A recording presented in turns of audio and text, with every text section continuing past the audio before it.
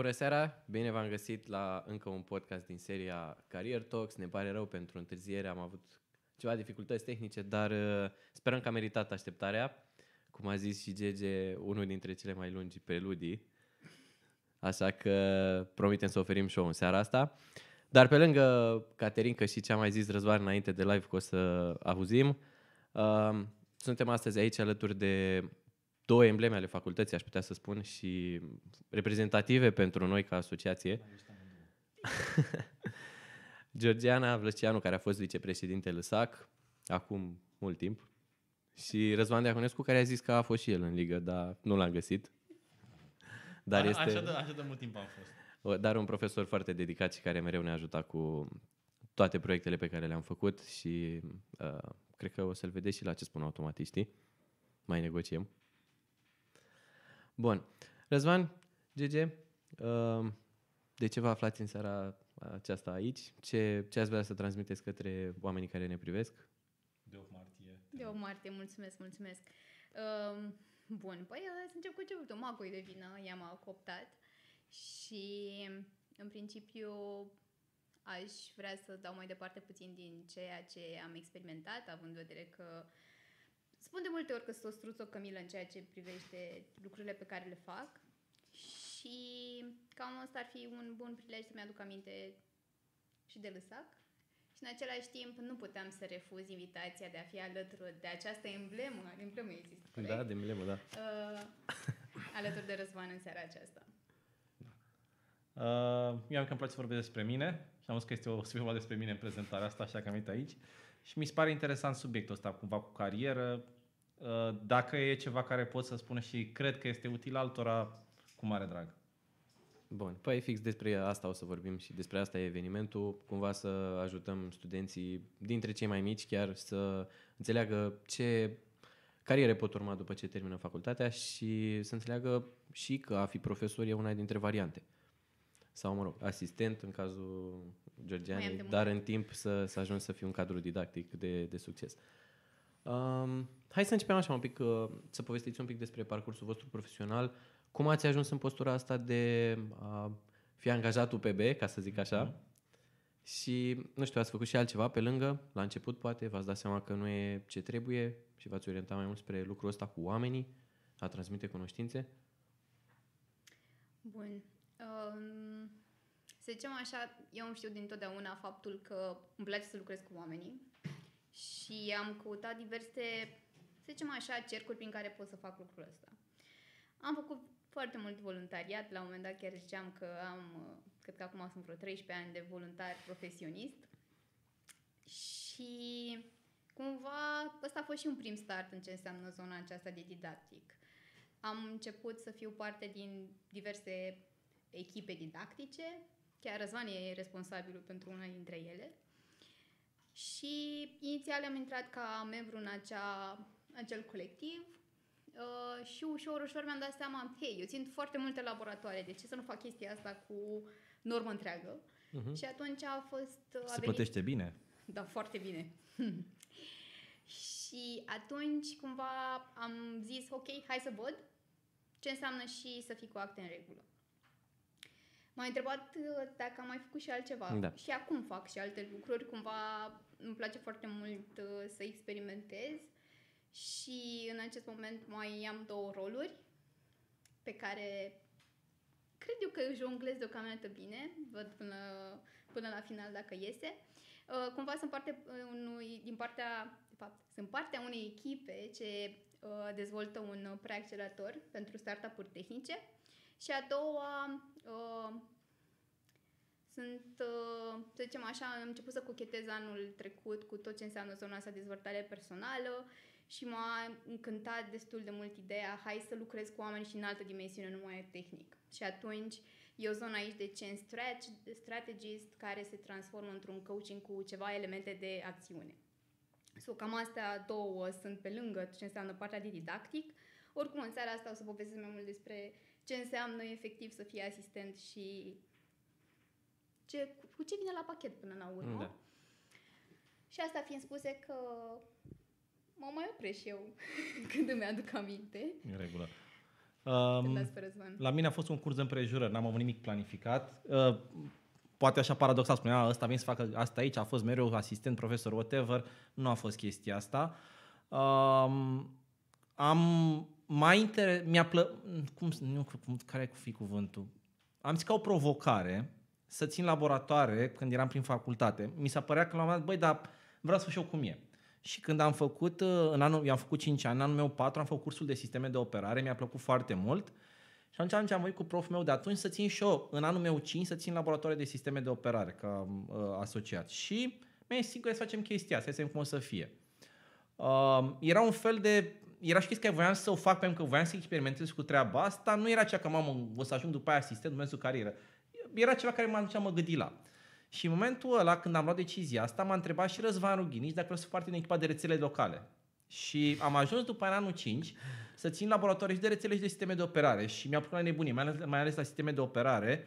Am avut o relație foarte bună cu studenții de atunci, era și diferență de un, de, un, de un an de zile între noi și a fost super mișto. După care în, în semestrul al doilea am avut proiect de diplomă în Singapore și atunci am plecat cu ideea că după aia o să mă angajez undeva, nu știu, la Freescale, la Xia undeva și eventual mai prin facultate. Și în momentul respectiv, când eram pe acolo, uh, mai, mai, mai făceam din, din Singapore, făceam LAN party cu Răzvaru Ghinic și colegi de prin facultate. Și m-am mai să te văd, interesează cumva să stai în facultate măcar un an de zile să vezi cum e și eram, hmm, mă, sună interesant, știi, că avem acest curs nou de USO, tocmai a apăruse cursul ăla atunci, eu fusem cumva implicat razant în acel curs, te poți implica mai, te poți implica mai mult în el, vezi cum este. Și am zis, băi, pare o idee bună. Și cumva undeva în, în luna mai în acel an, am zis, bă, hai să mergem în facultate cum este chestia asta. Și eu când am mers acolo, am zis, ideea, băi, e o chestie mișto, mi-a plăcut să țin ore, e o chestie care este fan și care mă pasionează, hai să fac asta. Și rând tot spunea, mă, stai și tu măcar un an să vezi cum e, că mai avem. Măi, măi, eu vin aici și facem, nu știu, nu că neapărat că stau până la sfârșitul vieții, stau, stau oricum să văd cum este. Și așa a fost, adică nu, nu am pornit cu ideea, vreau să țin ori, să fac în facultate, a fost concurs de împrejurări. Rând mi-a făcut, mi-a făcut piși pe chestia asta, era și o colaborare cu Ixia și practic când am fost facultate am fost simultan cumva implicat în zona de sisteme de operare, USO, rețele și colaborarea cu Ixia. Mm. Așa cumva ăsta a fost, uh, să spunem, cocktailul, uh, cocktailul de atunci. Și după aia lucrurile au fost pur și simplu streamlined, adică îmi place foarte mult, evident, că de asta sunt uh, ceea ce sunt și ce fac ceea ce fac, dar nu a fost ceva care acolo corect cu planificare. Și apropo de chestia cu lucratul cu oamenii, am pornit pe o chestie foarte puternic tehnică. Adică eram acolo, băi, îmi plăceau chestiile alea, nu eram neapărat așa, să spunem, cu partea asta de soft skills, cu oamenii, îmi plăceau chestii pe care le făceam, eram destul de, nu știu, coleric și tâmpit. Cred că cuvântul tâmpit e un cuvânt destul de bun. Am făceam multe scandaluri și multă gură și o luam pe ulei adesea. Dacă mă aștept acum în spate, mi-aș da niște palme serioase pentru atitudinea mea de atunci. Da, e, e urmă de progres, da, foarte bine.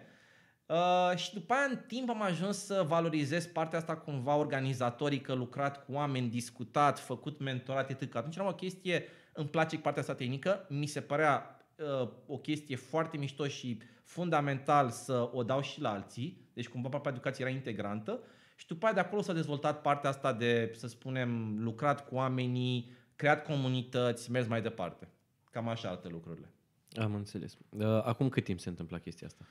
Uh, 15 ani da, 15 ani. În 2006 am a fost... și eu, 2006. În deci 2006 a fost primul meu an de când am ajuns, când am a, a fost angajat în universitate, în UPB. 2006, octombrie, s-a întâmplat uh, minune. Da, asta înseamnă că tu în 2005, de da, fapt, am ținut, în anul meu 5 am ținut, am ținut atunci, am fost colaborator în echipele de sisteme de operare și de rețele locale.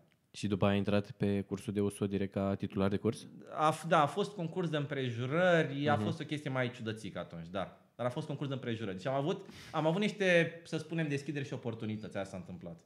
Mi se pare fantastic că, uite, de atâta timp uh, ați păstrat colaborarea și cu Xia și da, da, care da. e o lampă de lansare totuși pentru studenții E o chestie, mici. într-adevăr, că, într-adevăr, dacă e, cred că am o chestie ce apreciez la mine sau ce calitate era pe undeva pe acolo o întrebare, o vedem după aia. Uh, asta, într-adevăr, mi se pare că o chestie fundamentală pe care o recomand tuturor oamenilor este o formă de, nu știu cum să-i spun, perseverență, poate loialitate, la modul să, să știi cum e câinile în care ții un, un, un, un os în gură și nu dă drumul. Trebuie să faci chestia Adică asta. să ai continuitate. Dar singurul mod de a face ceva sănătos este să ai ani și prin ani mă refer cel puțin 5 de al 10 în care să faci ceva. De exemplu, acum când stiplat în Security Summer School, facem Security Summer School versiunea nouă peste anul viitor să fie versiunea 10, să fie cumva, să zicem, 10 ani de Security Summer School, ăla este un milestone foarte important. Da. Când faci ceva vreme de 10 ani de zile, aia chiar are o semnificație. Și atunci se schimbă lucrurile. Că așa poți face o dată de două, de trei ori, dar să faci pe termen mai lung, aia e... changes everything. Pe de altă parte, asta este fix problema că noi, în general, ca oameni, în ultima perioadă, nu mai stăm cu starea de plictiseală. Ok, facem o dată, două ori, trei ori, da. dar it's enough, hai să facem și altceva, să fie ceva nou, challenging da. and so on. Înțeleg, deci înțeleg ideea de nou, înțeleg ideea de challenging și toată chestia plictiseala și e bine, că e, e natura umană cum plictiseala, mm-hmm. dar mhm. chestiile sănătoase se construiesc în timp.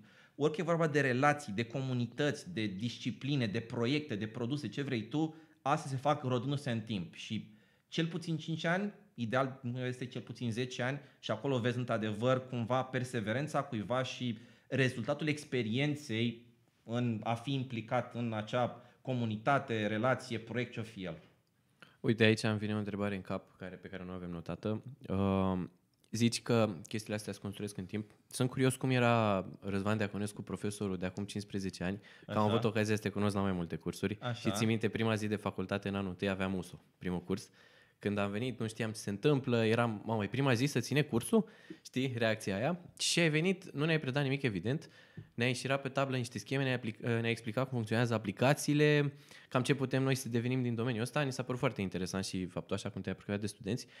Și de-a lungul timpului tu pui foarte mulți preț pe feedback și uh-huh. știm chestia asta și din Consiliu. Sunt curios dacă ai avut abordarea asta de la început, să mergi pe inputul studenților, să vezi ce poți să schimbi la materii, uh, dacă ai avut la fel abordarea asta practică, tu la cursuri vii foarte mult cu laptopul, lucrezi din terminal, ne arăți uh-huh. exemple. Uh-huh. Cum era Răzvan da, de acum la început? Um, dacă, cred că ceea ce pot să punctez că nu s-a schimbat a fost că mă duc acolo în mod egoist pentru mine. Îmi place să fac chestia respectivă. Așa, eu când mă duc acolo, cred că ceea ce apreciază lumea, sau asta e mintea mea, e că eu sunt acolo, nu sunt profesor, sunt Răzvan Deaconescu, sunt cine sunt eu. Adică nu mă duc cu o altă uh, figură, nu vin cu chestii prea formale, mai scapă și cuvinte de inter- interpretare De acum 15 ani sunt foarte sigură că s-a schimbat un lucru totuși. A, nu, nu, dar nu spun că nu s-a schimbat, spun doar că partea asta... Nu mai, de curând vii așa aranjat, frumos. La cursul mereu veneam așa.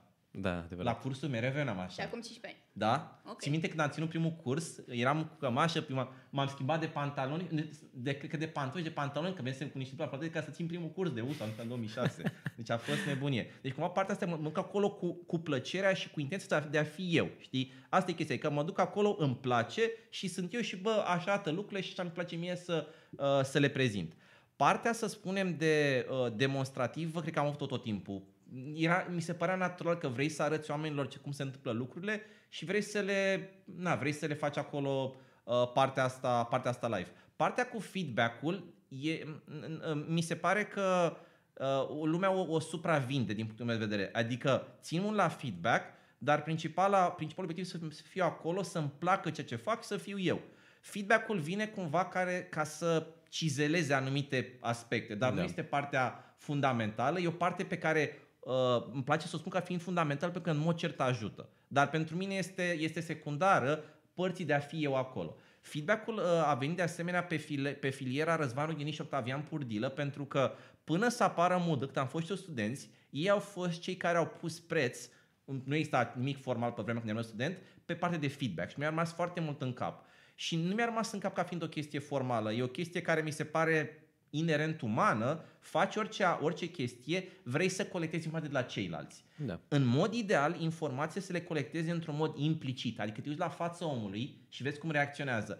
Când într-o chestie explicită și cer tu feedback, apar tot felul de, cum să spun, formalizări. Ce e bine să spun, ce nu e bine să spun. Feedback-ul informal, uh, feedback-ul, cum să spun, nu neapărat uh, prin, inclusiv prin gesturi, cât de atent este omul, cu te uiți la fiziona, fizionomia lui, cum reacționează, cum pune întrebări, cum sună întrebări, este mult mai important și mult mai veridic decât l-a scris pe hârtie la finele semestrului, care trece printr-un proces de raționalizare. Un feedback așa mai emoțional, mai uh, autentic, mai neauă și în momentul respectiv este foarte important și îți dai seama, după ceva experiență, când oamenii pur și simplu nu te înțeleg, nu se prind, rămân așa cu ochii cruciși, cască, se uită în altă parte. Mi se da, da, că da. feedback-ul ăsta este fundamental. și nu știu ce au mulți oameni poate ignoră să-l vadă, dar simți oamenii. Deci părerea mea că dacă nu simți oamenii, ori nu-ți dai interes, ori chiar este o lipsă acolo. Nu, nu mi se că n-ai cum să nu simți cum de față ta că nu te ascultă sau ceva nu faci cum trebuie. Nu, domne, studenții sunt de vină.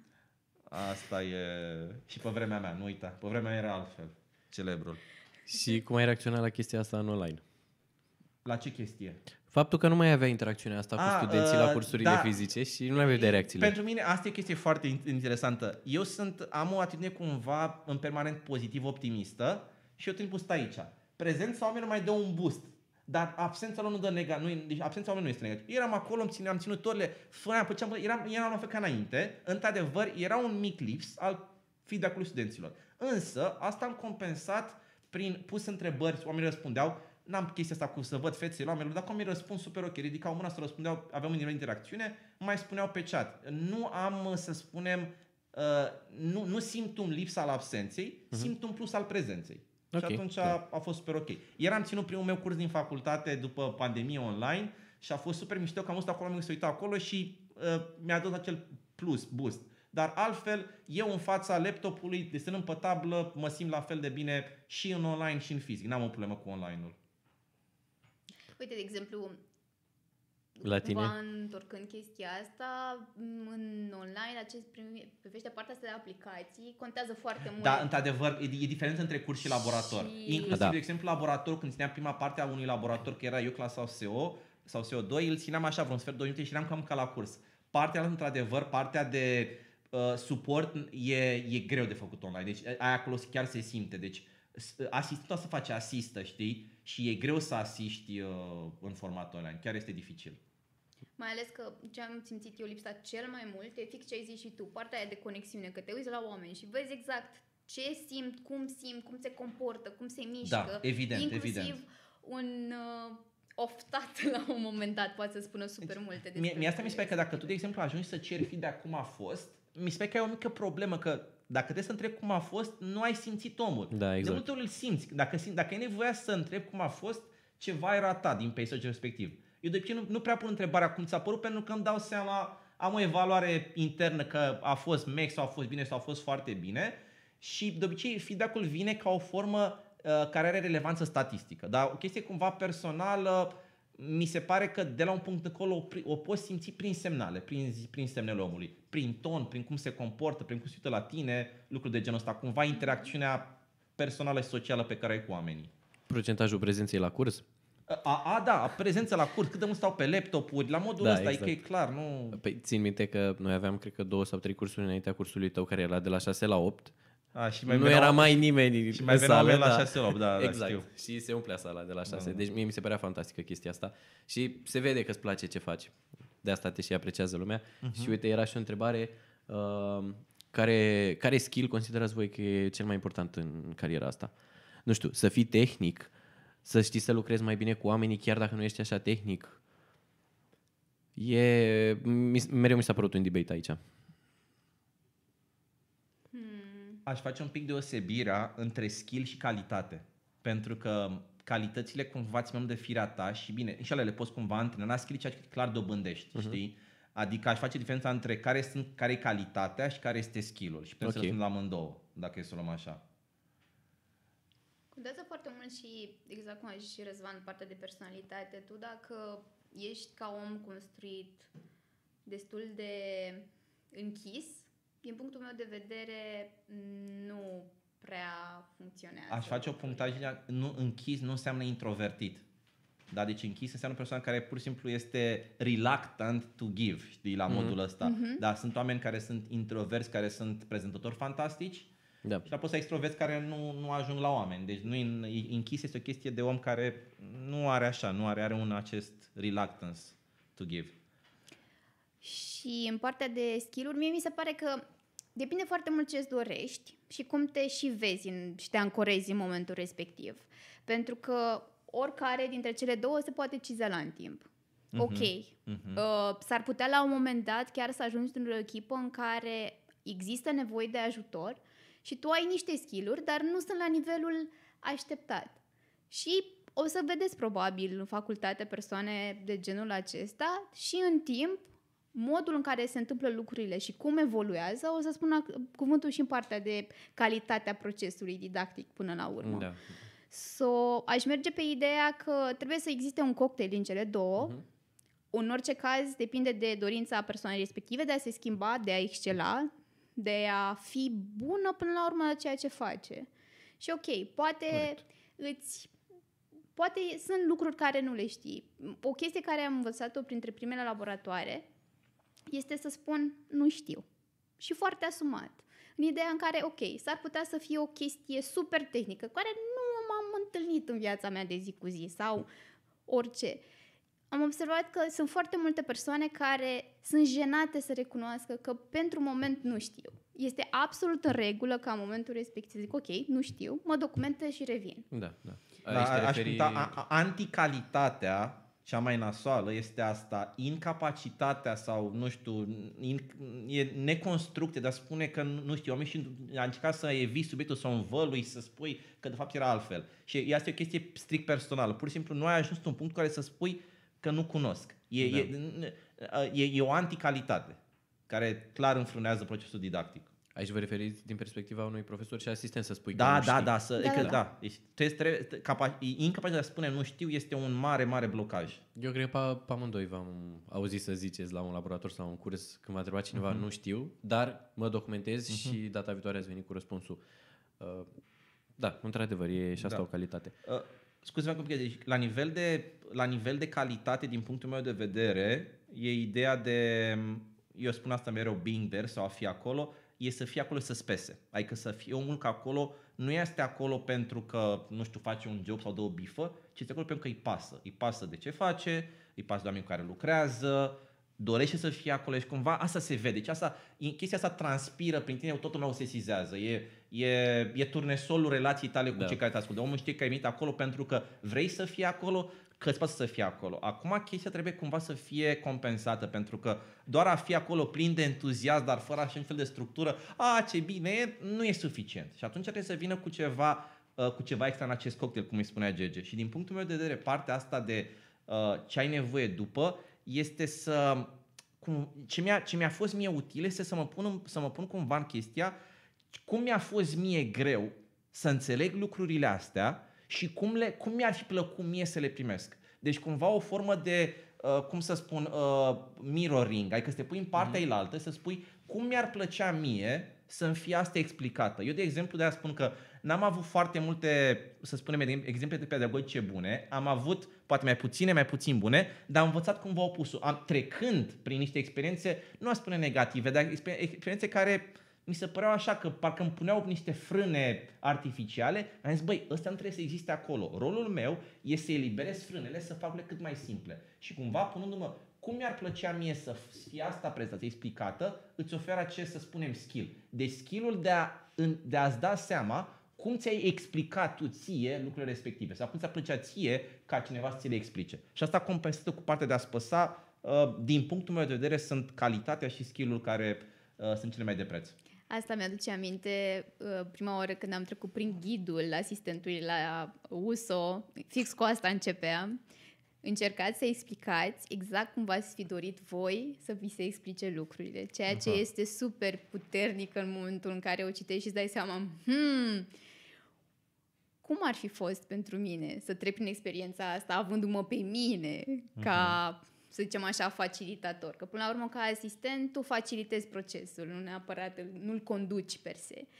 Și da, da. total subscriu cu partea aceasta. Bine, ca să poți să explici o chestie, întâi trebuie să o înțelegi. Deci... Păi nu, a, asta e altă chestie, pentru că, de exemplu, e, e, a, a, asta mi se pare că e un pic de downside aici, că dacă tu explici foarte bine și omul nu înțelege, omul nu mai trece prin experiența acelor sărit de garduri și înfrân niște mm-hmm. obstacole. Deci există și un dezavantaj acolo. De exemplu, eu mă simt super bine când fac ceva și mă chini și nu după aia mi-a ieșit, bani cu peste asta. Așa dacă n-aș avea obstacolul ăla și mi-ar spune cineva, a, dar e simplu, e, e ușor de înțeles. Și cumva asta fac și are într-adevăr, are acest dezavantaj că nu, nu, e, nu oferă omului provocarea că nu simt. Da, nu Pe de altă parte, tocmai aici vine parte de mentor, vine al treia, a treia fațetă în care îi dai omului după aia, în afară de explicații simple, un proiect personal pe care să-l pună pe aia. Hai, acum dus capul de toți pereții. Cum o să fac asta? Și spui, descurcă-te.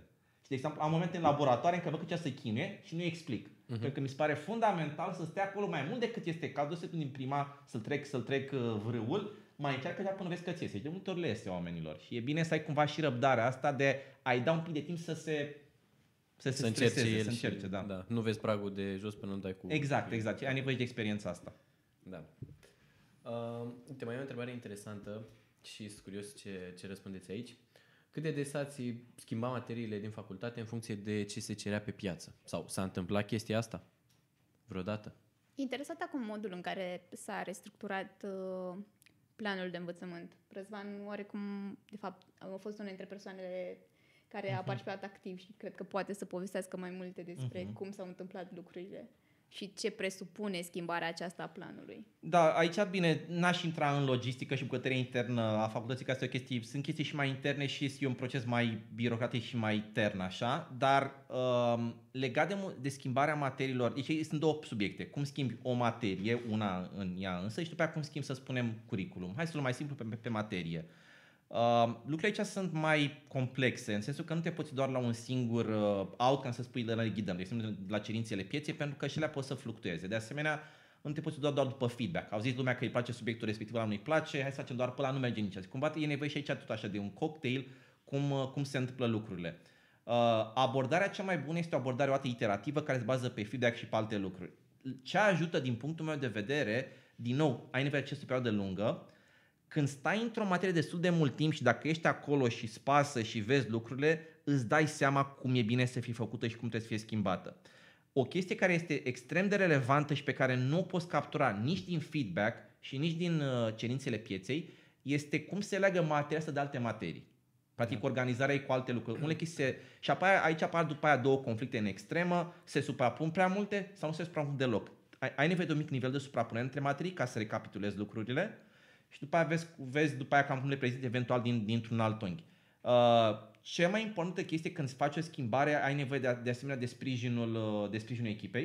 De exemplu, acum când a, când a fost pandemia, a, asta spun tot timpul, a fost un efort să schimbăm examenul de la sisteme de operare să fie examen oral. Experiența mi se pare că a fost foarte bună, dar a fost un efort acolo să faci chestia asta, pentru că lumea nu era obișnuită și orice schimbare vine cu un nivel de reticență, este absolut natural uman. Și atunci te uiți cumva la materie, vezi cam ai nevoie de niște oameni, asta e foarte mult, oameni care predau materie respective să fie cumva oameni din domeniu. Nu trebuie să facă asta ca un fel de second job. Dacă, de exemplu, ai un care predă curs, predă curs materie laborator de IA, trebuie să lucreze cumva în zona de inteligență artificială, în research, în proiecte, whatever, ca să aibă o, o, o chestie de perfecționare continuă, de sharpening, știi? Da. Skill sharpening în mod constant. Și atunci când ești în zona asta, seama, băi, chestia nu e așa de relevantă. Uite, acum se întâmplă în industrie sau în proiect se întâmplă și chestia, pe tehnologia cu tare. Și dacă oamenii au chestia asta, împreună cu o reticență naturală și nativă la schimbări, faci un cocktail destul de bun. Că nu vrei să faci schimbări foarte rapide și foarte bruște, fără să păstrezi nimica, nu vrei nici de asemenea să rămâi așa într-o băltire la nesfârșit. Și atunci cu o experiență de sharpening continuă și cu un, să spunem, o reticență la schimbare inerentă, este destul de bine.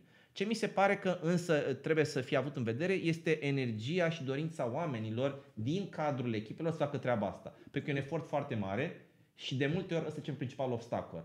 Lipsa de chef, de timp, de atenție, de implicare, de conexiune în echipă ca să pingă lucrurile forward. Oamenii își doresc să facă chestii mai bune, dar ai nevoie de efort și nu este ușor. Am stat să facem o carte de USO 3 ani de zile. Acum am de laborator de un an de zile. Am discutat cu Răzvan Ițu de 2 ani de zile, acum suntem în al treilea an în care să facem revamping la, la materia de sisteme de operare. Și să facem foarte mișto, dar durează de 3 ani de zile chestia asta. Mulți oameni spune, ba picioare, 3 ani de zile mai bine mă fac și fac altceva, pentru că e un efort consistent și na, trebuie să ții acolo garda sus în permanență.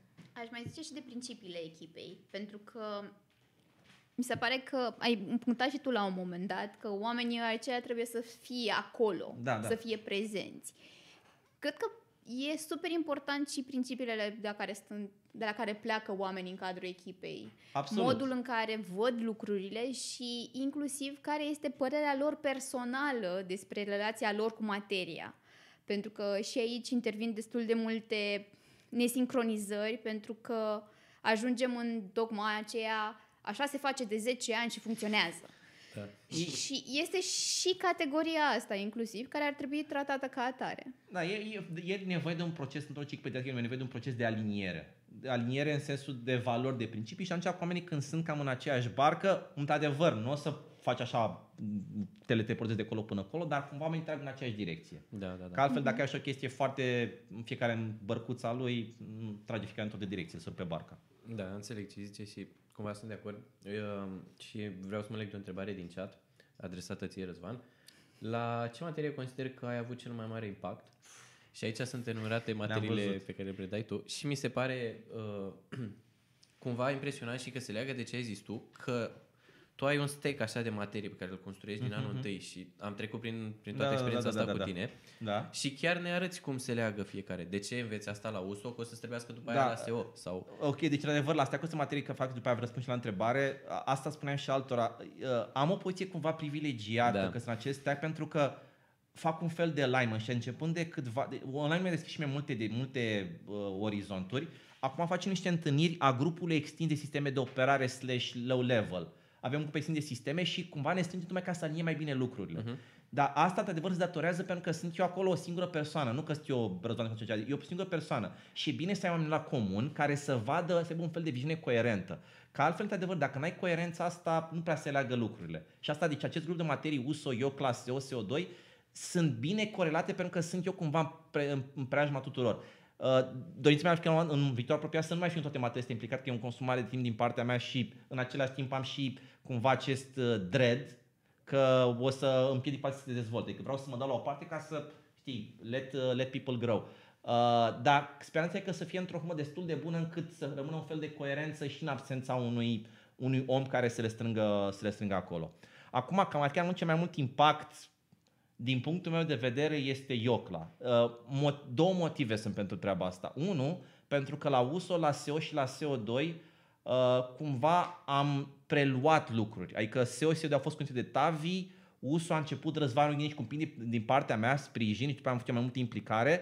Eu cumva am fost, adică am fost împreună. Pe când Iocla, când am început, am început așa că am, adică am fost și cu Răzvanițu și cu Dragoș Nicule, cu Costin Boiangea, am început lucrurile atunci dar am început o materie cam, să zicem, ground from, from ground și în doi ani am să, am să, să ajungă foarte bine și cumva aveam experiența atunci de coordonare de echipe, aveam de la, nu știu, 10 ani de coordonare și știam cum trebuie făcută materia și impactul a fost, cum să spun, rezultat pe, pe timp a fost cel mai bun. Cred că și alte materii au avut de beneficiat pe chestia asta, dar dacă este să le să le, să le ordonezi, eu clar, clar cel mai mare impact.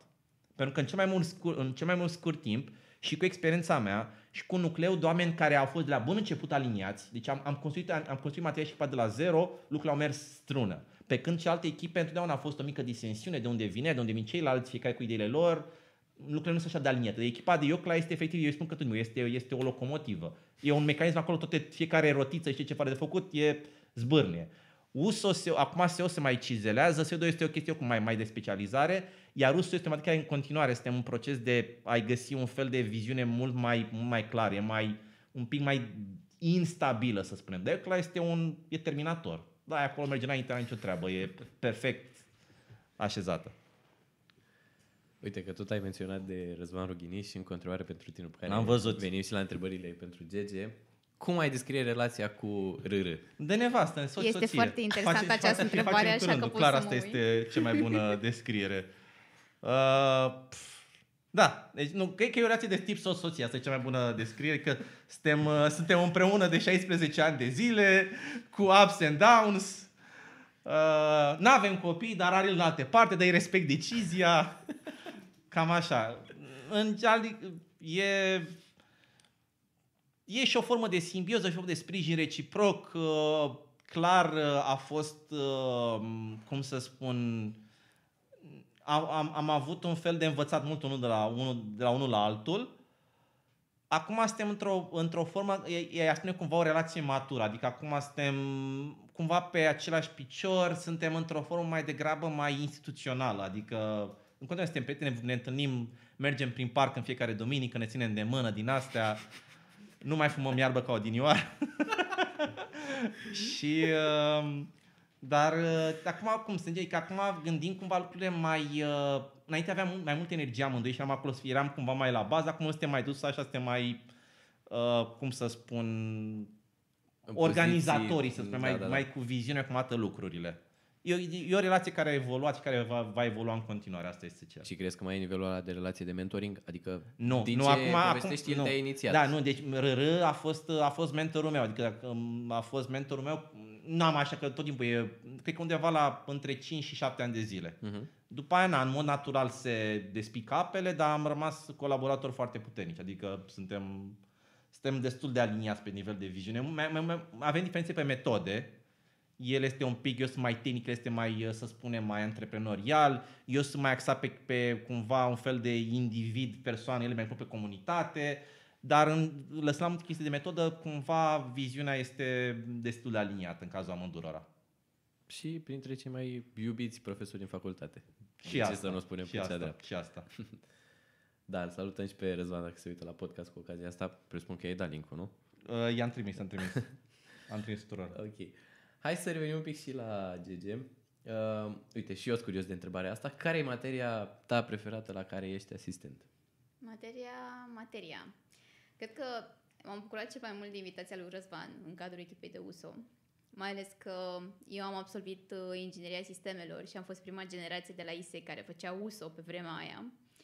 Și norocul meu este că pe, în primul an uh, s-a bușit puțin partea de alocare și s-a considerat și la seria noastră laborator de două ore. Din păcate era doar o singură oră, dar uh, beneficiul nostru la final. Și cred că m-am bucurat cel mai mult de, de materia respectivă pentru că era și mi-aducea foarte multe amintiri plăcute din primul an, din modul în care am văzut facultatea și cum am luat până la urmă contact cu ea. Că chiar am trăsărit când a zis mai devreme de comunitate. Chiar s-a văzut din prisma mea de student o comunitate în cadrul materiei respective și cred că asta a fost și unul dintre motivele principale pentru care cumva la un moment dat m-am zis cum ar fi dacă aș fi eu în locul lui uh, Alex.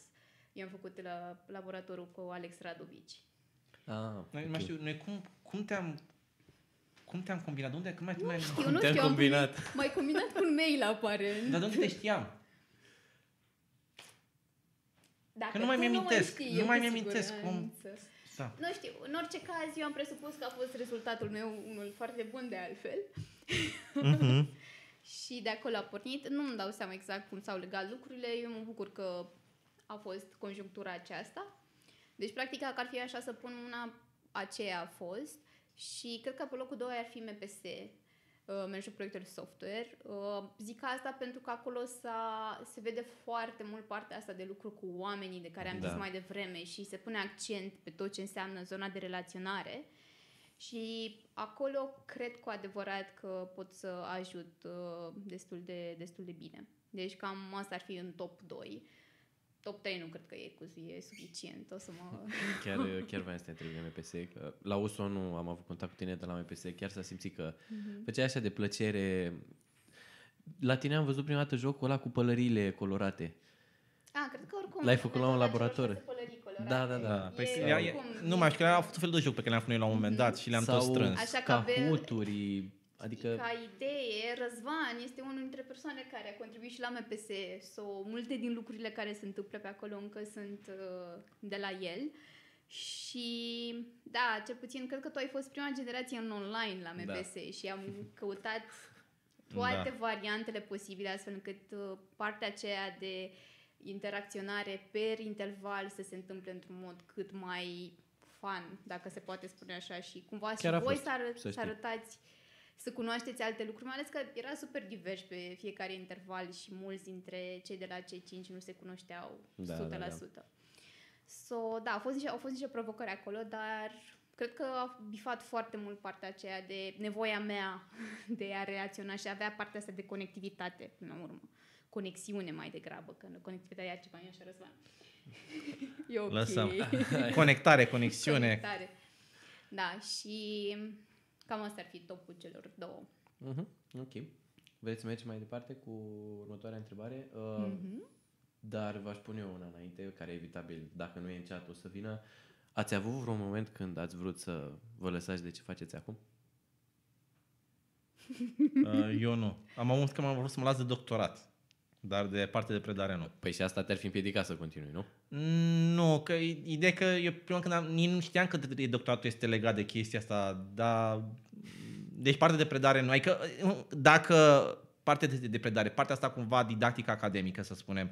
Dar ce se întâmplă este că chiar că să spunem aș renunța la poziția în UPB sau ceva, oricum aș face tot în zona asta. Adică partea asta de, cum să spun, mentorat, lucrat cu oamenii, forme de training sau de predare, uh-huh ar fi, ar fi ce aș face oricum. Deci, adică e, e impropriu spus de, de a renunța. Deci, na, de la, la tipul de carieră n-aș renunța, la asta nu pe B chiar nu am niciodată problema să, renunț, să, să merg în alte parte sau ceva. Pur și simplu s-a întâmplat. Adică îmi place foarte mult și nu, e, nu mi-am pus alt, altceva problema.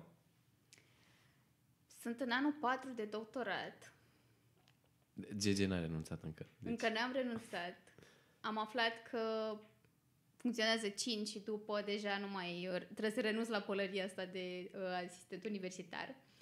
So, acolo e un, un mic challenge la mine să finalizez partea aceasta.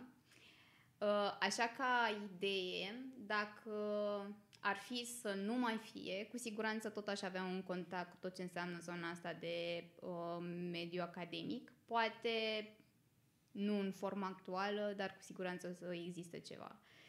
Deocamdată vreau să termin doctoratul, so ăsta ar fi cumva un uh, milestone. Um, în orice caz, lucru cu oamenii. Cred că am zis de foarte multe ori chestia da. asta. Dar pentru mine este chiar un motiv și mi se pare că fac bine ceea ce fac în direcția aceasta și n-aș renunța. Crezi că se leagă, mai văzut o întrebare de genul, de faptul că ai făcut voluntariat în timpul facultății?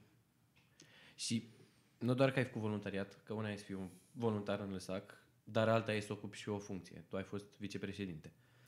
Băi, nu știu, cumva mi s-a părut cool funcția asta de președinte și am luat-o în multe organizații pe parcurs. Uh, la Lăsac ai și doar vicepreședinte din conjunctură, da. dar overall, uh, cred că tot episodul ăla a fost unul pentru mine care mi-a deschis ochii pe principiu, băi, ai încredere, n-ai atât de multă încredere în oameni pe cât uh, N-ar trebui să ai atât de multă încredere în oameni. Și overall, să mă leg fix de ce există de partea asta de voluntariat, băi, sunt ceea ce sunt datorită lucrurilor pe care le-am făcut și tot ce înseamnă zona asta de... Eu de multe ori m-am considerat un om introvertit, dar asta probabil a fost în liceu, că între timp lucrurile s-au, s-au ajustat uh, enorm și multe din lucrurile pe care le fac bine astăzi sunt lucruri care au fost experimentate, reiterate, hai să vedem cum iese și așa și așa și așa. Uh, tocmai de aceea lucrurile secundare duc foarte mult către zona asta de a organiza lucruri, de a pune piesele din puzzle cap la cap și chestia asta mi se pare super faină în ideea în care să iei un lucru și să-l construiești într-o direcție. Și cam asta am învățat în anii ăștia de voluntariat, cumva să, să găsesc soluții la problemele cu care mă confrunt. Da, exact. Subscriu la ce zici. Și nu știu dacă ai fost implicată și în Consiliul Facultății? Da, am avut două, două, nu mai știu, cred că două, două, da. Că a fost amuzant că am fost la început din anul 2 până în anul 2-3, apoi în anul 4 am candidat și am fost și încă un an la master. Și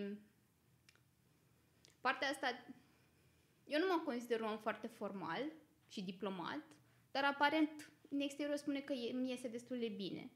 Și lucrul ăsta cumva l-am folosit foarte mult în relația cu profesorii în, în zona aceea, pentru că, ca să zic așa, pe vremea mea am intrat în lăsac în momentul în care lucrurile nu erau foarte aranjate și e o diferență enormă față de ceea ce se întâmplă în acest moment în organizație și care este relația cu cadrele didactice și modul în care a evoluat încrederea în organizație pe parcursul anilor.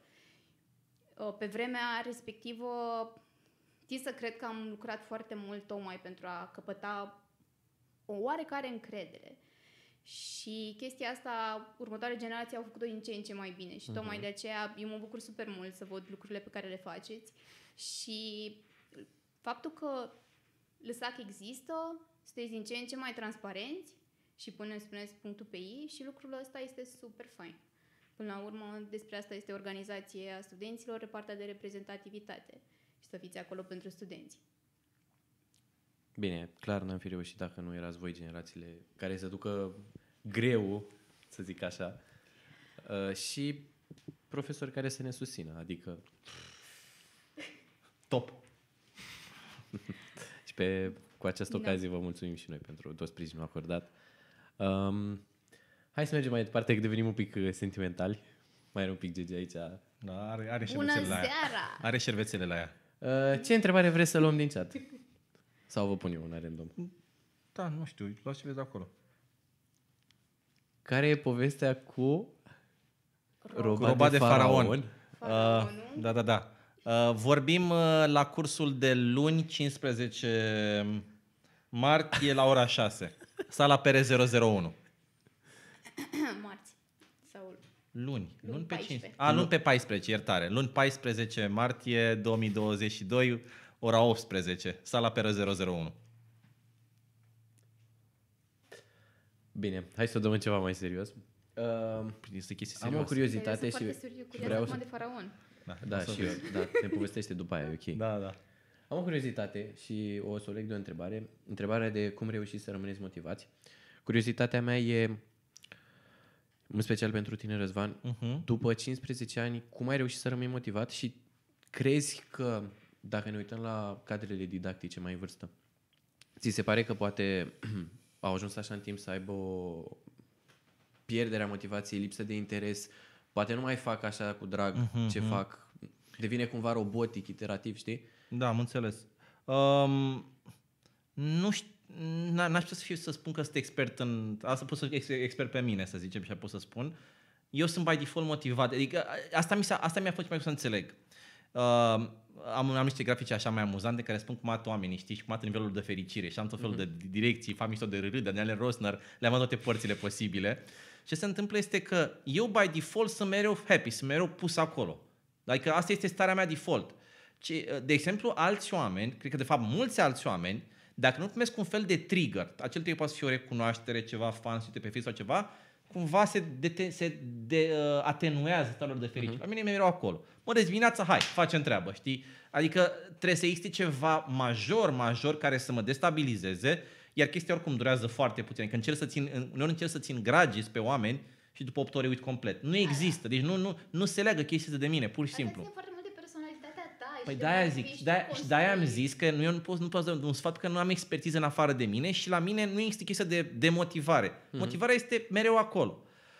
M- d- Dacă, și asta e că dacă ești cumva dornic să faci ceea ce faci și îți place treaba asta și mai ales la chestii care țin cumva de legătura cu oameni, nu vă cum fi demotivat. E- Experiența mea, să spunem, în uh, partea de predare și partea de, hai să spunem, tehnică, în IT, N-am fost niciodată demotivat, nu văd cum aș putea să fiu demotivat. Am decât să chestii tâmpite, să mai întâmplă chestii nasoale, da. Dar ce se întâmplă este că mulți oameni, dacă nu sunt, încă o dată, n-au acel trigger permanent, acel, acel ping, se atenuează. Uh-huh.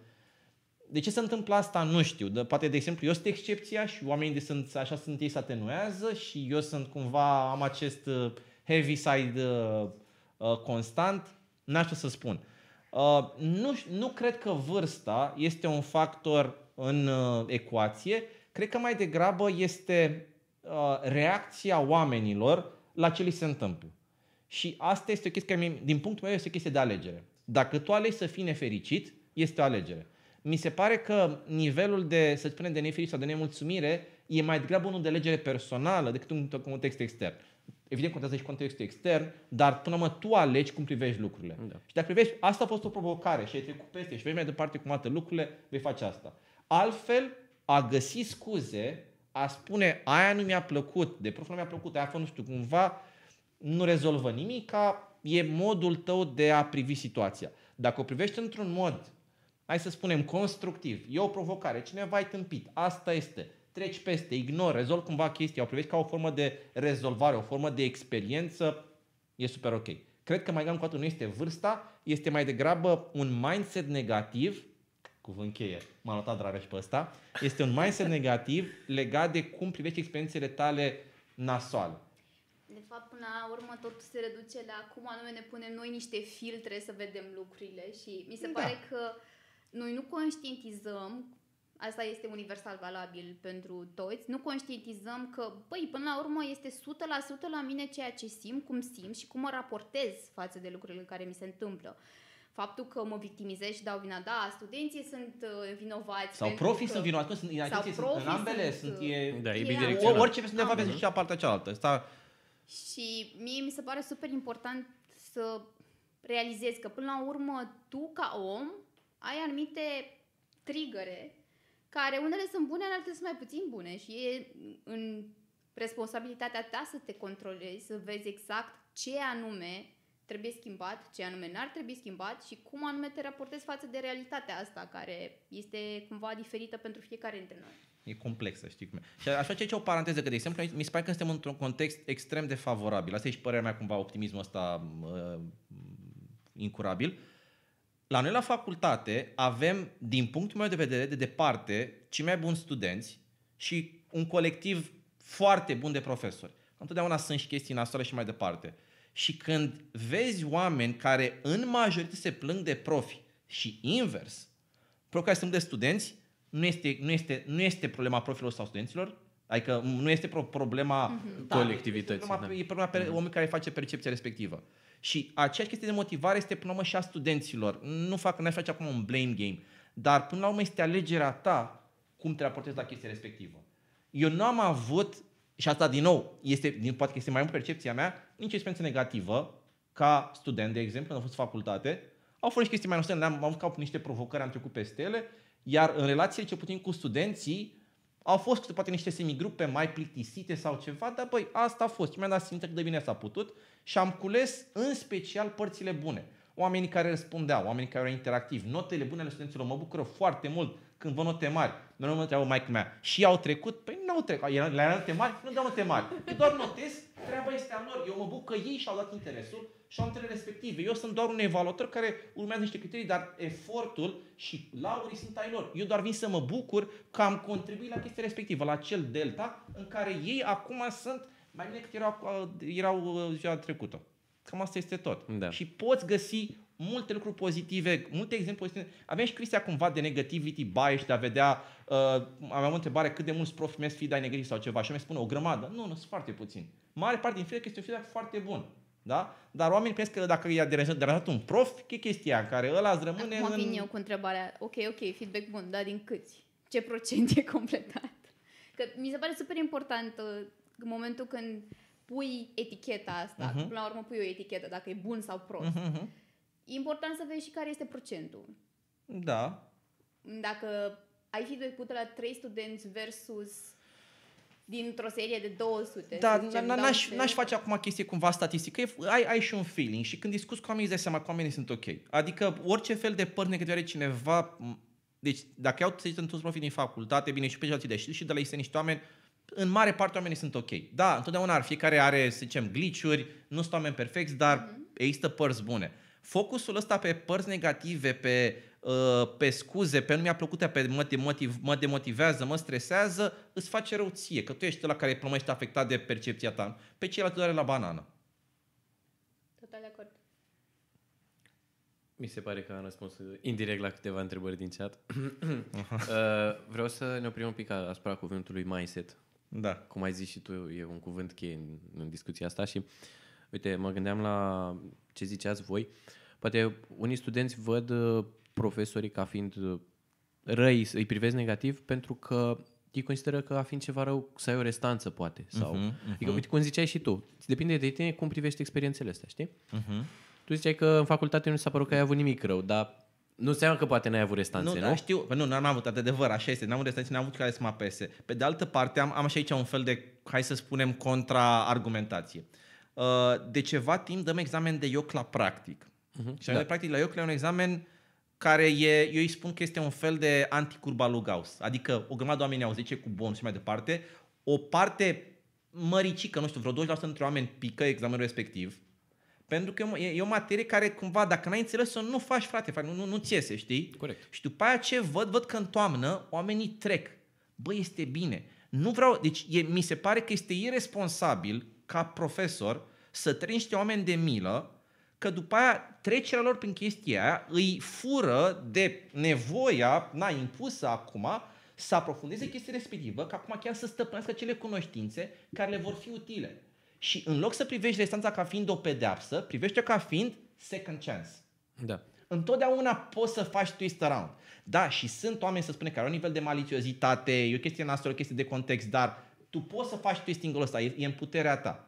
Da? Și nu cred că acum suntem, încă o dată, sunt cazuri și cazuri, dar în marea parte a timpului nu există ceva care să spui că este, nu știu, cineva acum asta să spună că la tine, la biserica catiste, se gândește mereu cum să tragă pe la spate. Nu există chestia asta. Da? Oamenii sunt destul de relaxați și mai departe. E în mult mai mult, 90% spune în barcă, în, în, în alegerea ta, cum privești lucrurile respective. Și o restanță poți ca fiind un second chance, băi, învăț mai bine. E un exemplu, bine, eu tocilar fiind, n-am avut restanță, dar am fost la mărire. Am, am mărit note de la 9 la 10. Da, pentru că am vrut, băi, vreau să fac chestia ca lumea, vreau să, vreau să o stăpânesc. Și nu, nu, era, nu, era un, nu era neapărat, să zicem, un, un, un, un țintă nota, era mai degrabă o formă de, de evaluare, de validare a chestiei Vreau să înțeleg cum e bine chestia asta și nota 10 pentru mine era o validare că am înțeles chestia cum trebuie și că sunt stăpân pe, pe acele noțiuni. Partea asta de a vedea oportunitatea în ce se întâmplă e, ține foarte mult de mindset și de mindset-ul ăsta axat pe creștere și fix ce ziceai și tu, că vezi efectiv și mărirea ca fiind o variantă foarte bună să ajungi la da, etapa următoare pentru tine. De, da, da pentru, pentru tine, exact. Și Mm, sunt foarte mulți oameni care preferă să nu facă chestia asta și din păcate, ei și-o fură. Da, aici e mai chestie complicată, adică încercăm să facem și aici știu că și Liga face multe lucruri și acum și la materie în anul întâi face, anul întâi este un an critic în zona asta, că tu trebuie să ajungi cu oamenii dintr-o, hai să spunem, stare mai animalică, cum vin din liceu, să bă, să capteze aceste informații astea. Mai ales după online. Da, și după că nu, oamenii chiar vin, experiența de liceu, unii au o adică experiență bună, dar alții o experiență foarte așa, vin cu presiunea părinților și bine, să vezi acum, aici ești pentru tine, trebuie să vezi cum faci asta pe ca să fii tu un om mai complet, mai rotund, mai bun, mai performant și mai departe. Să nu te compari cu ceilalți doar ca o formă de, cum să spun, de invidie, e o formă de comparație ca să vezi cum arată lucrurile și pentru tine este primul rând comparația cu tine însuți. Cum uh-huh. ești mai bine mâine față de cum ai fost ieri. Și este un întreg speț și acest mindset nu se întâmplă dintr-o dată, e nevoie de un pic de efort, de discuții. Mie mi-a plăcea foarte mult că am luat într-un viitor să avem aceste relații de mentorat uh, mai apropiate de profesor, student, să fie un om să, un Uh, titular să, uh, să mentoreze, nu știu, 4-5 studenți, de asta că trebuie să scaleze, trebuie să număr foarte mare de oameni, pentru că atunci poate, poate ține legătura cu acei oameni și va avea o relație personală care construiește acest mindset. Nu se construiește uh, formal după o rețetă, predau două chestii și ai înțeles cum vine vorba. E nevoie de, de micro-interacțiuni care generează un, să spunem, un mindset sănătos, un da. mindset constructiv. Ai zis o chestie cu care nu sunt de acord. Partea asta de uh-huh. a compara. Mi se pare că te depărtezi foarte mult de uh, reala valoare, să faci comparații între tine și, studi- uh, și colegii tăi de grup. Păi da, de tocmai exemplu, nu sunt de acord cu asta. Zicea că... Tocmai că nu sunt de acord cu asta, da. te referi? Uh, ai zis la un moment dat că ar fi cumva ok, A, ceea nu, ce... Nu, nu, nu, nu atent, n-am zis, am zis la modul că nu sunt de acord cu ea, are, poate, are, are, și, are și rolul ei, deci nu, nu putem să eliminăm complet comparația, da? Competiția ajută, da? Competiția e diferită din punctul meu de vedere față de comparare. Eu cred că redus se referea la faptul că vii din liceu unde te compari cu topurile de la tine din clasă, știi, și ajungi la facultate unde, bă, ești mai mult da, pentru tine. Poți demobiliza, știi? Da, Sunt exact. total de acord cu chestia asta, suna ca fiind un statement, ceea ce... A, nu, de exemplu, mie îmi place să mă compar cu cea care este mai bun decât mine, chiar cu ideea că nu o să ajung la nivelul respectiv, dar îmi dă așa un fel de, bă, ce mișto e tipul ăla acolo și nu privesc ca fiind o chestie. Da, adică, dar asta nu e comparație, asta cumva e păi- recunoști păi, meritele. Păi tot o comparație este pe care dacă era mai bun decât el, nu uitam la el. Nu? E tot o chestie comparativă, că îl văd că este deasupra mea și mă, nu mă compar. Înțeleg, înțeleg ce spui tu? tu spui că eu, pentru mine comparația este un mijloc, nu o finalitate. Exact. Nu e finalitatea, da. până la urmă nu deci, da, mă interesează mă să fiu eu mai Concluzia serii. de Y. No. ok. Uh, interesantă discuția. Hai să mai vedem niște întrebări. Uh, de cât timp suntem live, Ionuț? Că tu ai altă oră la laptop acolo. Un o oră? Un oră. O oră. Mamă, ce a trecut timpul. Păi Răzvan vorbește mult. Da, da, da, da. Și ziceai că trece repede prin întrebări. Da. omului. uh, asta cu feedback-ul negativ s-a mai răspuns. Hai să mai vedem. Cum reușești să captezi atenția? Mm. Uite, considerați o idee proastă angajarea în primii ani ai facultății? Bine, cam puțin probabil angajarea în primii ani, că nu prea ai background zici, de Zici tu sau zic eu? Uite, de exemplu, am avut și studenți de anul 1 și de anul 2 care erau angajați. Din punctul meu de vedere... Dar presupun că veneau cu ceva din spate din liceu, adică știu și eu care în liceu făceau aplicații web sau... Uh, nu, nu m-aș concentra pe asta și rămâne cumva în limitele întrebării, în ideea în care... Okay. Uh, indiferent de care e bagajul tău de cunoștințe, până la urmă sunt anumite bucăți cheie din studenție pe care poți să le folosești la maxim. Nu știu, mă gândesc aici la vacanțe la tot ce înseamnă zona asta de vacanțe de vară, folosește-le, du-te la stagii diverse, încearcă școli de vară, sunt foarte multe versiuni și Răzvan a zis de cea de securitate. Da. Există foarte multe oportunități ca să-ți iei o minimă experiență. Încearcă să fii student pe perioada studenției, în ideea în care uh, o să ai o viață întreagă după și până la urmă ăștia patru ani sunt ani care te vor forma pe tine ca specialist sau generalist. Nu, nu aș intra în direcția asta ce e mai, dacă e bine să fii specialist sau generalist, dar mă refer efectiv la alocă timp să-ți iei fiecare materie ca fiind o provocare, să bagi acolo timp, să te plictisești cu ea, să o iei iarăși de la capăt, tocmai în ideea în care să spui niște uh, skill-uri de bază, care poate nu o să le folosești 100% exact cum le-ai folosit în materia respectivă, dar vei avea ocazia pe parcurs momentul în care o să fii parte dintr-o organizație, să le pui la treabă cu adevărat. Deci, cumva, îmi dau seama foarte mult că există și în partea asta de necesitate pe piață și e o presiune către studenți. Hei, alții au făcut-o, de ce? Ok, dacă alegi să te angajezi, alege măcar să ai un part-time. Uh, din toate reacțiunile cu studenții de anul 4, le-am simțit frustrare neputință pe alocuri pentru că nu știau cum să se mai împartă și este mai mult, până la urmă, mulți dintre oamenii care ajung la facultatea asta merg pe ideea că vor o calitate cât mai bună a vieții. Fie ei fi direct, fie uh, luată de la părinți, că se câștigă bine, whatever. Sau prieteni. Sau prieteni și tot așa. Și atunci tu din startul tinzi către o calitate bună a vieții. De ce să nu te dezvolți optim în ăștia patru ani și după să bagi în tine ceea ce dorești tu, la propriu și la figurat. So, cam asta ar fi cumva părerea mea. Îmi dau seama că nu este una populară și nici nu trebuie, până la urmă. Mm, n-aș zice. Nu știu, cred că ține de fiecare și de necesități. Poate și... unii vor să fie financiar independenți mai repede de părinți, poate unii nu-și permit în timpul facultății mm-hmm Tocmai de aceea cumva am, am zis și de partea de part-time-uri, part-time în general. Pentru că mhm. există uh-huh. posibilitatea asta și why not? De ce nu și freelancing până la urmă? Ți un proiect punctual dacă ai nevoie, necesitatea aceasta de a avea un uh, avea niște bani de buzunar să nu depinzi de ai tăi și atunci da. varianta asta o gestionezi mult mai ușor în timpul pe care îl ai. Uh-huh. Răzvan, tu ce zici? Um, în mare parte sunt de acord cu ce a zis Gege și uh, mi se pare că unul dintre punctele forte ale facultății noastre, pe că mai am comparații pe care le-am văzut și la FMI și la, la Iași și cred, cred că și la Timișoara, nu am așa multe informații, tocmai este mesagistica uh, mi se că tot nu este adevărat, că nu avea o mesagistică mi se pare foarte agresivă, o mesagistică de a încuraja să nu te angajezi într-un mod, să spunem, fără să fie neapărat super partizan, te-a angajat, uh, ți-ai stricat viața. Și sunt, mi se pare că e o idee bună și vom transmite în continuare mesajul ăsta. Astea fiind spuse, dincolo de mesajul oficial, uh, nu am să spunem ceva vehement până să te angajezi. Cred că este într-adevăr, trebuie să faci, e, e, o, e un cost de oportunitate în momentul respectiv, că o să consumi niște timp din diferite motive, care poate să fie consumul de uh, să ai experiență, independență financiară, presiune socială, whatever, pot înțelege chestia asta. Ce este important este să o faci cumva for the right reasons.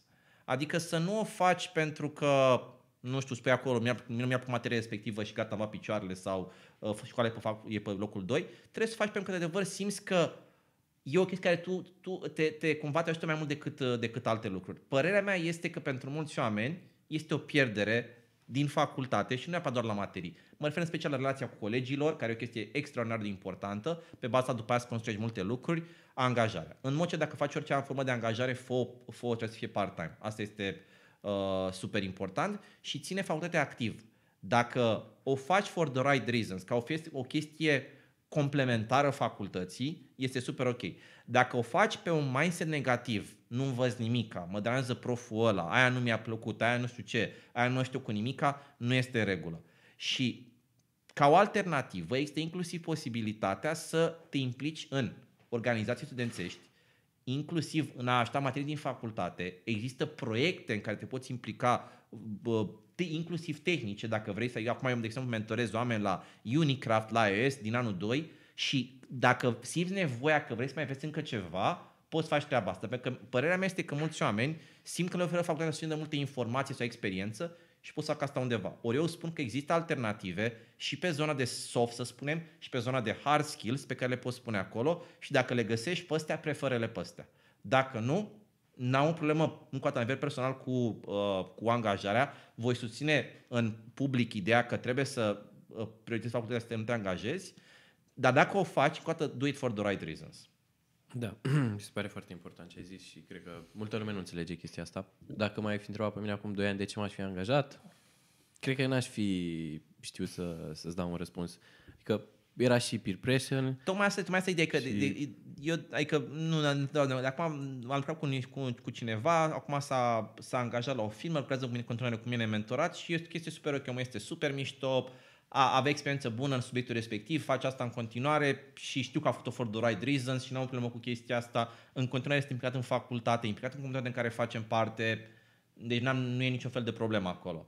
Dar este cumva, de asta este o chestie foarte bună să ai o relație de mentorat cu cineva în care să poate să te sfătuiască pe chestia, să nu faci o decizie, cum să spun, for the wrong reason sau cumva doar impulsivă sau ca nivel de peer pressure. Și cu un astfel de sfat o să spunem, măi, e important ca, ca men, încă o dată, orice mentor trebuie să, trebuie să nu vină cu uh, nu sau cu da, din, cu da. Nu există absolutisme, știi? Da. Dacă nu să ce, ce dorești să faci tu și să, să ajungă la substratul nevoii, va fi în regulă. doar să ajute să Da, absolut, tocmai. Corect. Doar să, doar, să, doar să te împingă de la spate, este încurajat că cumva să tu, tu, tu decizi încotro mergi, el doar vine să te sprijin, să te dea la o parte niște obstacole. Bun, țineți asta în minte, că vreau să revenim la ideea asta, dar până atunci mi se pare o întrebare uh, culeasă, culeasă din chat, foarte importantă și sper să înțeleagă mai multă lume chestia asta. Aceea marcată, e nevoie de modulul psihopedagogic pentru a fi asistent la laborator. Atenție, asistent, nu profesor. Uh-huh. Poate lămuriți un pic. dacă e uh, nevoie formal? Nu, dacă e nevoie să-l faci, modulul psihopedagogic, timpul facultății. Ca să ajungi asistent sau ideea că ca să ai experiența? Că e ca cerință formală sau e ca bine ne, să... Ca, nu ca necesitate, ca cerință, da, exact. Adică ai nevoie de chestia asta legal, uite, că tot ce, ce e legal. Deci e vorba de cerință, deci nu, da. nu dacă e bine, ci dacă e nevoie. Exact, exact. În cazul în care vrei să fii uh, angajat, e necesar să-l faci. De exemplu, eu în primul an de doctorat, în momentul în care am uh, uh, am ales să vin să dau și concurs pentru asistent, am făcut o declarație pe proprie răspundere că pe perioada doctoratului eu o să fac această uh, formare. Și există o variantă a modului psihopedagogic și 1 și 2, că sunt uh, primul este da. dedicat uh, învățământului preuniversitar și al doilea este dedicat uh, învățământului universitar. Acesta se face la master, primul la licență. Uh, există o variantă de a-l face într-un mod accelerat. Asta înseamnă că pe perioada unui semestru eu fac toate materiile uh, din acel ciclu. Și am ales varianta aceasta pentru că în momentul respectiv când am fost eu la licență, am zis că hmm, 4 ore pe săptămână, vreau să fac altceva cu, cu cele 4 ore. Și uh, tu dacă vrei să fii colaboratorul într-o echipă, nu este neapărat necesar. Cred că la asta se, se gândea Răzvan. Dar în cazul în care vrei să mergi pe traiectoria aceasta, va trebui nu. să-l faci la un moment Cred că de fapt întrebarea este alta. Dacă sunteți acum studenți și vreți să ajungeți asistenți, nu e acum nevoie să faceți modulul ăsta. Îl puteți face la, în primii 2-3 ani de zile ca o formă de echivalare. Deci dacă nu l-ați făcut, nu înseamnă că vă retează posibilitatea intra în facultate. Eu nu l-am făcut încă când am fost la de licență, nici nu știam și l-am făcut când am fost în, nu știu, primii 2 ani de asistenție, exact cum l-a făcut uh-huh. și Gege. Da. Deci nu e, dacă, dacă vreți să lăsați poliția deschisă și vă încurajez pentru o carieră academică universitară, nu aveți niciun impediment că n-ați făcut acum modul pedagogic, îl veți face în primii ani de asistenție. Bun, mi se părea foarte important să clarificăm uh-huh. chestia asta, că mereu există întrebări Știu, da, așa este. Acum dau și... seama că e o întrebare care poate să apară frecvent și nu, nu e pe nicăieri pus un răspuns elocvent. Și eu sunt aceiași oameni care fac acest modul psihopedagogic, nu vă faceți griji, o să fie aceeași calitate pentru cei care cunosc uh, subiectul. Da, știu și eu ce zici, că am trecut și eu pe acolo. Chit că poate nu o să ajung să profesez eu ca un cadru didactic. Uh, bun, de ce ziceam să păstrați un pic ideea asta de angajare în minte? Weekendul ăsta urmează târgu, ITNC, după cum v-am spus. Și evenimentul ăsta a fost pus așa înaintea târgului tocmai pentru a da un pic o direcție oamenilor spre care să se ducă. Am avut mai mulți speakeri de la mai, din mai multe domenii, uh, automation, software engineer, uh, o să avem uh, mele, uh, cum să te pui în valoare cu Elena. Uh-huh. Ce ați recomanda? Uh, uite, ați zis să nu, să nu crezi neapărat în timpul anului. Da, uite, vine uh, pentru cei de anul 3 perioada de practică. Uh-huh. Uh, cât de important e acum pentru ei um, să să aleagă un domeniu spre care se ducă? Nu știu. N-au de unde să știu ce, să știe ce, ce le place. Uh-huh. Asta înseamnă că trebuie să testeze. Uh, și vi se pare ok, uh, nu știu, anul ăsta, vara asta lucrezi ca front-end developer și după aia îți dai seama că nu e chiar ce trebuie pentru tine. Uh, sincer, cred că în anul 3 oamenii nu sunt atât de cum să spun, confuzi, adică diferența între front-end developer și hardware developer e destul de mare. Deci cred că oamenii au măcar niște intuiții, băi, că mai îmi place, nu-mi place, că, sau măcar pot să spună asta nu prea, asta poate. Deci cumva ai, ai în mod ce o reducere de plajă. Nu este mm. ca și cum o chestie este uh, up for everything. Nu există așa ceva. Deci cumva vezi acolo. Și ce se întâmplă mai mult, din punctul meu de vedere, mai mult decât tehnologia în sine sau subiectul, contează mai mult să spune echipa și environmentul și compania. Asta Pentru că după aia dacă intri acolo, oricum poți să variezi Uh, poți să variezi, uh, nu știu, pozițiile, poți să mergi în altă parte, asta se rezolvă.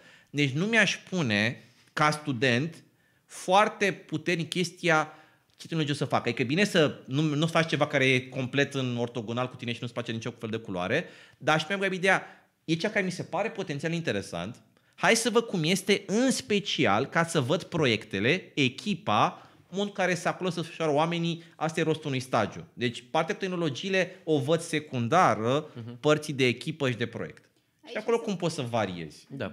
Aici asta mi se pare foarte fain inclusiv varianta asta de a vorbi cu cei care au fost la anumite companii. Clar, ca să clar. ai un fel de uh, background minimal, ce se întâmplă, ce se întâmplă în echipă, care este relația dintre, cât de mult o să fii, există uh-huh. posibilitatea aceea să ai chiar un mentor din partea companiei, uh-huh. nu mhm. neapărat să se dea uh, tascurile în brațe și descurcă-te sau oricare altă variantă. Comunitatea noastră din facultate, a comunitatea studenților, e, e a, bine și bazată și faptul că nu se angajează așa de mulți oameni și oamenii sunt în continuare prezenți acolo, oferă acest, eu tot timpul spun că nimic nu transpir mai ușor între studenți decât uh, student-to-student discussion. Eu, când spune un student unui alt student ceva, valorează mai mult decât dacă spune la 10 studenți, că ei oamenii se cunosc între ei. Și disiparea acestor informații este fundamentală și comunitatea noastră construită aici, cu sprijinul tuturor oamenilor implicați aici, uh, organizații, profesori, studenți, whatever, asta face lucrul astea foarte bine, că orice fel de experiență se disipă la toată lumea. Da. Și rețeaua asta e esențială pentru transmiterea experiențelor. Și că există de partea aceasta de angajare. Până la urmă, personal văd că târgul de, văd târgul de job ca fiind locul în care oamenii să-și caute practică, în primul rând. Exact. Și Bine, depinde că... din ce perspectivă te duci acolo, că dacă ești masterant, da. Mm-hmm, da, da, just. Cumva majoritatea persoanelor interesate direct uh, din anul 3 încep să se uite cumva în zona asta și mi se pare super important să te duci oarecum cu temele gata de, făcute de acasă. Ideea în care, ok, ce-mi doresc eu de la acel stagiu? Mai mult decât tehnologii și tot așa. Care e perioada? Pentru că nu ai de unde să știi cu ce, cu, cu ce persoane vorbești și s-ar putea să vorbești doar cu persoane HR care nu știu exact lucrurile din spate de uh, postului și contează să-ți calibrezi și tu foarte mult așteptările versus ceea ce se întâmplă cu adevărat în interiorul tehnic de după. Și cumva să fie o ajustare și calibrare în ceea ce ceri, cum te raportezi la experiența de sâmbătă și uh-huh. cum te raportezi la următoarele etape. Uite, asta era follow-up-ul la întrebare. Um, ce vi se pare mai important?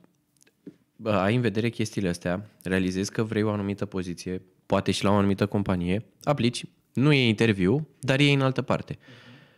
Ce ar fi important în momentul ăla să faci? Tu simți că ai tu să te duci în altă parte, dar din necesitate, că trebuie să faci practica. Da, exact. Așa. Acum, că e destul de important pentru studenții care urmează să treacă prin etapa asta, mai ales că vin după online și nu prea da, știu. Da. Ce ar fi mai important? Să te duci la firma aia unde ai luat interviul, dar poate nu-ți doreai uh, pe o tehnologie pe care poate nu, nu o stăpânești, nu-ți place, sau faci practică la facultate, te pregătești mai bine și poate după aia poți să revii să dai interviu acolo mai, mai stăpân pe tine. Adică te-ai angajat din necesitate într-un loc în care poate nu ți-ar plăcea? Cam asta ar fi întrebarea. Aici aș veni puțin pentru ce a zis mai devreme Răzvan. Până la urmă e vorba de cum vezi lucrurile, de cum e decizia. Dacă e o decizie să fie asumată, unul la mână, doi la mână, poate nu ai vrut acolo, dar e o provocare pentru tine să vezi exact ceea ce faci și cum uh-huh. anume te raportezi uh-huh. la lucrul acela. O, chestia asta cred că au mai zis-o și studenților la MPS în anumite condiții. Nu o să ajungi să faci numai lucrurile pe care ți le dorești. Asta e total just. Și trebuie să găsești o variantă să te echilibrezi pe tine astfel încât să poți să faci față provocărilor pe care le ai. Și lucrul ăsta mi se pare super important. Deci, dacă ar fi așa să reclasez deci, uh, decizia... You, you should take it dacă tu consideri că poate să fie o variantă bună pentru tine, da. Uh-huh. Dar să fie o decizie asumată. Nu da. neapărat da. că trebuie să iau jobul ăsta pentru că e o sursă uh-huh. de finanțare uh-huh. Uh-huh. sau uh, ok, nu iau jobul ăsta pentru că nu-mi place, dar uh, that's fine. Poate găsesc ceva în facultate. Încă do, it, do it for the right reasons. Da, do it da, for the exact. right, the right reason și să fie asumat, dar să fie super în regulă. Asta nu e, nu e un răspuns la cheie, trebuie să fie albă sau neagră. Vezi de tine cam cum cum privești tu situația și ia decizia asumat și cu motivele bune în minte. Corect. Deci să lucrezi din nou la mindset. Cum ai zis-o tu, scuze Răzvan, că am revenit la întrebarea asta, a sunat că nu e chiar atât de ok să rămâi în facultate și aici aș aduce puțin... Mm, nu, nu, nu, era nu. vorba de stagiu în facultate. Stagiu da, în facultate, exact. exact. Nu, nu, nu, de stagiu în facultate. Uh-huh.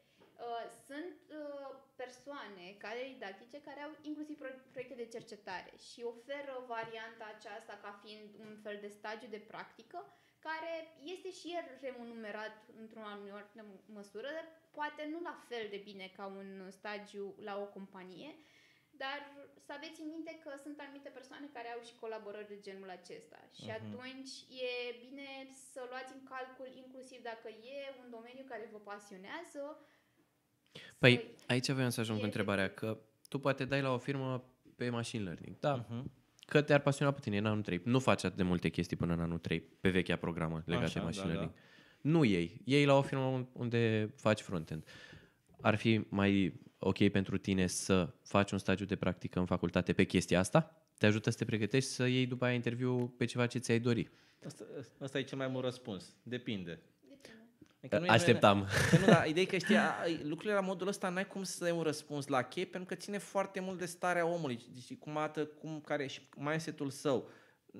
Da, ce mi se pare că este foarte important să dai seama că nu există un fel de răspuns corect că uh, ce s-a aplicat cuiva se aplică și ție. Tu poți colecta experiențe, trebuie să le treci tu prin, prin ființa ta, prin filtrele tale, prin emoțiile, prin gândurile, cam ce se pare, ce se pare că ți se potrivește. Eu, de exemplu, dacă ar fi în situația asta, personal aș merge pe propoziție că să văd cum arată chestia. Că eu sunt așa mai năvlem cu acolo, vezi cum e chestia acolo, bag și acolo, fac și niște interfațe, fac și niște shell scripting, dau și niște rast, văd eu acolo cum merg lucrurile. Sunt, sunt copac, dar le văd eu cum arată. Că asta m-ar încânta bine experiența. Dacă însă tu ești o chestie, ai, ai o chestie așa mult mai riguroasă și vrei să uh, uh, ai o chestie mai riguroasă și vrei să, vrei să faci treaba respectivă, du-te pe ceva care te pasionează pe tine. Ține cumva de, de ce-ți dorești tu. Da. Ce mi se pare foarte important, asta e o chestie care mai zic adesea. Uh, hai să dacă pot să fac politic, politically corect exprimarea asta. Nu, hai, o, o să fac politically incorrect, o să fie de aia nenorocită. Okay. Și spune următoarea chestie. Ce faci dacă te prinde maică ta masturbând-te în baie? Știi?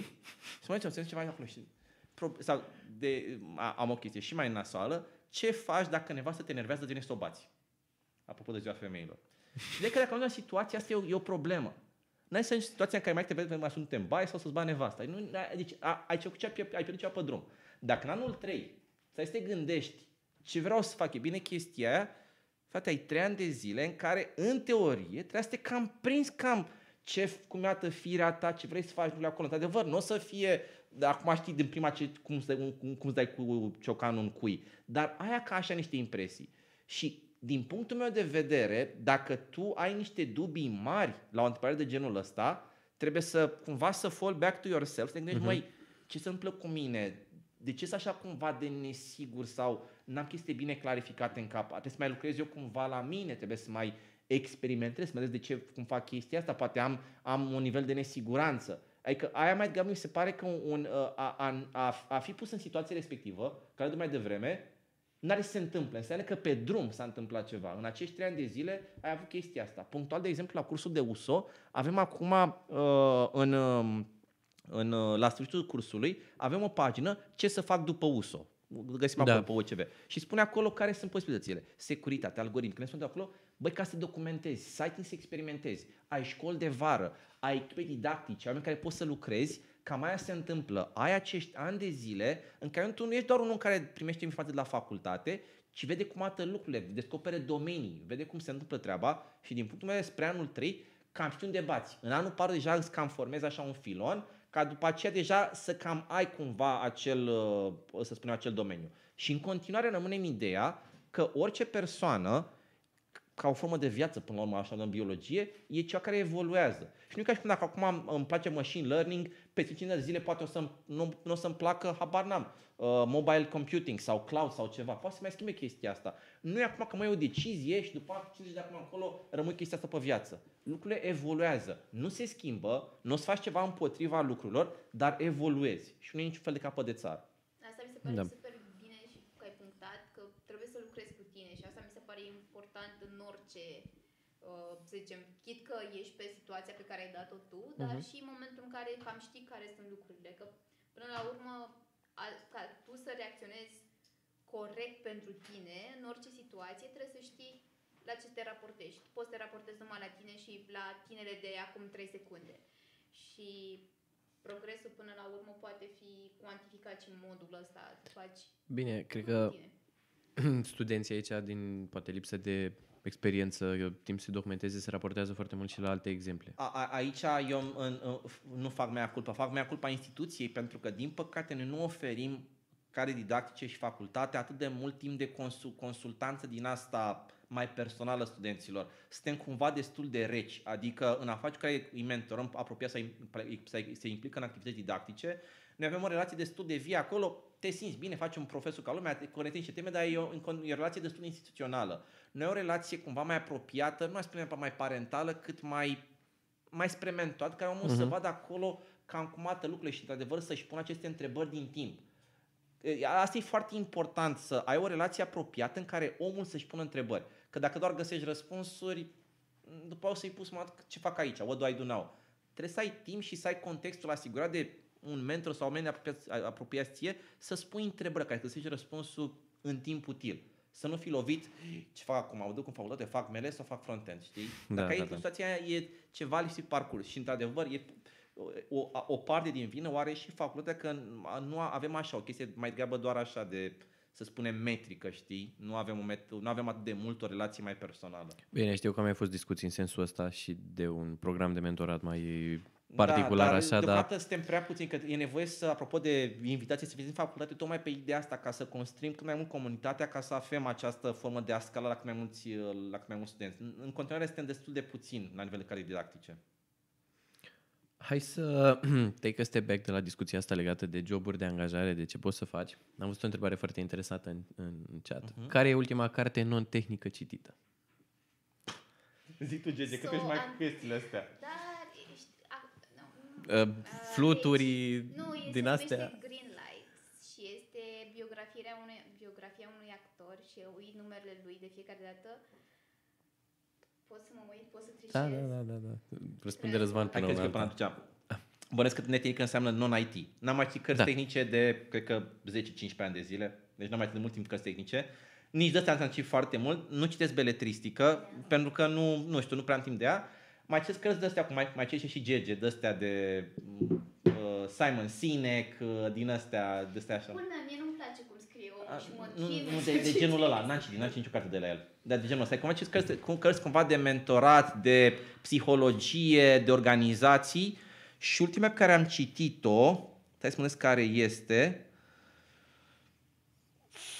uh, cred că am, n-am citit-o, am, am rămas blocat la ea, am vrut să o citesc Sex at Dawn, este despre sex la începutul uh, omenirii, adică cum, cum s-a dezvoltat sexualitatea la oameni când a devenit Homo sapiens și înaintea ăstuia, una pe care, care mi-a plăcut, cred că asta, cred că am asta înaintea ăstuia, este Games People Play, o carte de psihologie, analiză tranzacțională.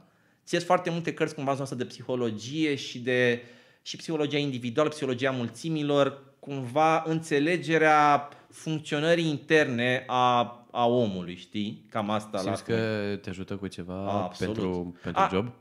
Uh, da, e- ideea e că uh, în, când faci ceea ce facem noi în partea asta didactică cu foarte mulți oameni, automat, uh, dacă ești o persoană cum cred că sunt eu, care ești atent la ce se întâmplă în jur și colectezi informațiile astea și le prelucrezi și le, le organizezi, după aia le dai și mai departe, că mi se pare chestia fundamentală tu mai departe, uh, ajungi să dezvolți niște deprinde, niște intuiții, niște experiențe. Astfel de cărți nu îți fac neapărat wow, dar îți confirmă, ceea ce e o chestie foarte importantă. Bă, suntem ca și era, într-adevăr. Cumva îți dezvolți niște automatisme, dar spui, mhm, și poate îți dau și explica de ce sunt așa.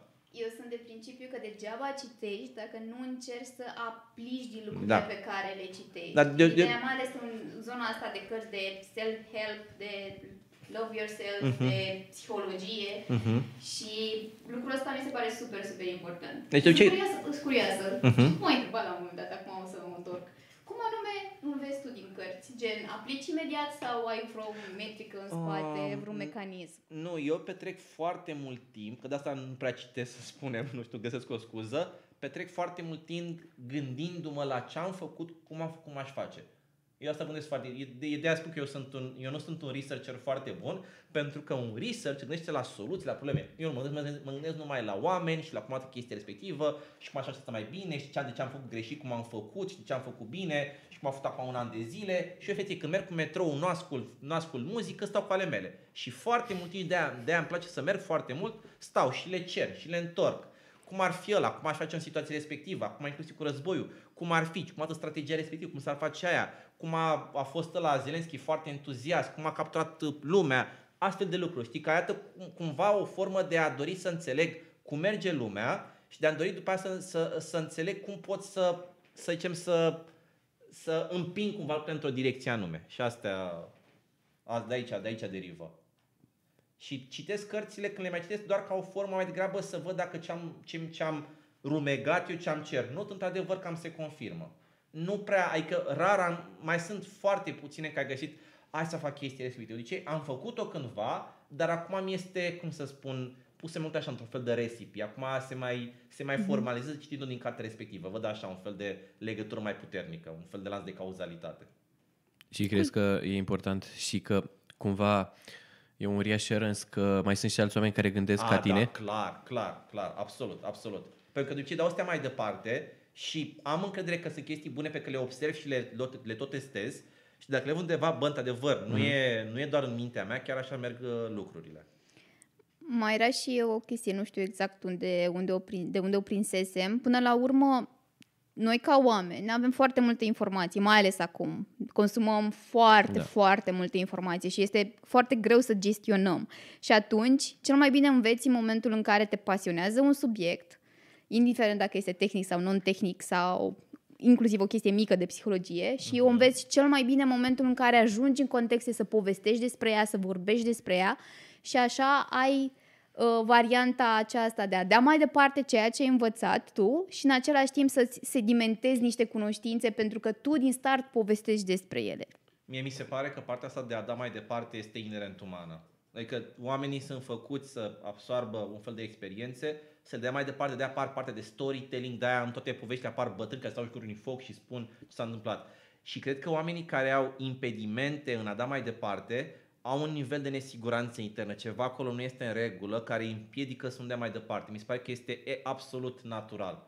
Dacă îmi dai mai departe, there's something wrong undeva. Ori ai tu niște, im, im, uh, nu știu, intenții ascunse, ori niște nesiguranțe care te împiedică într-adevăr să faci mai departe, pentru că it's the way you do things, știi?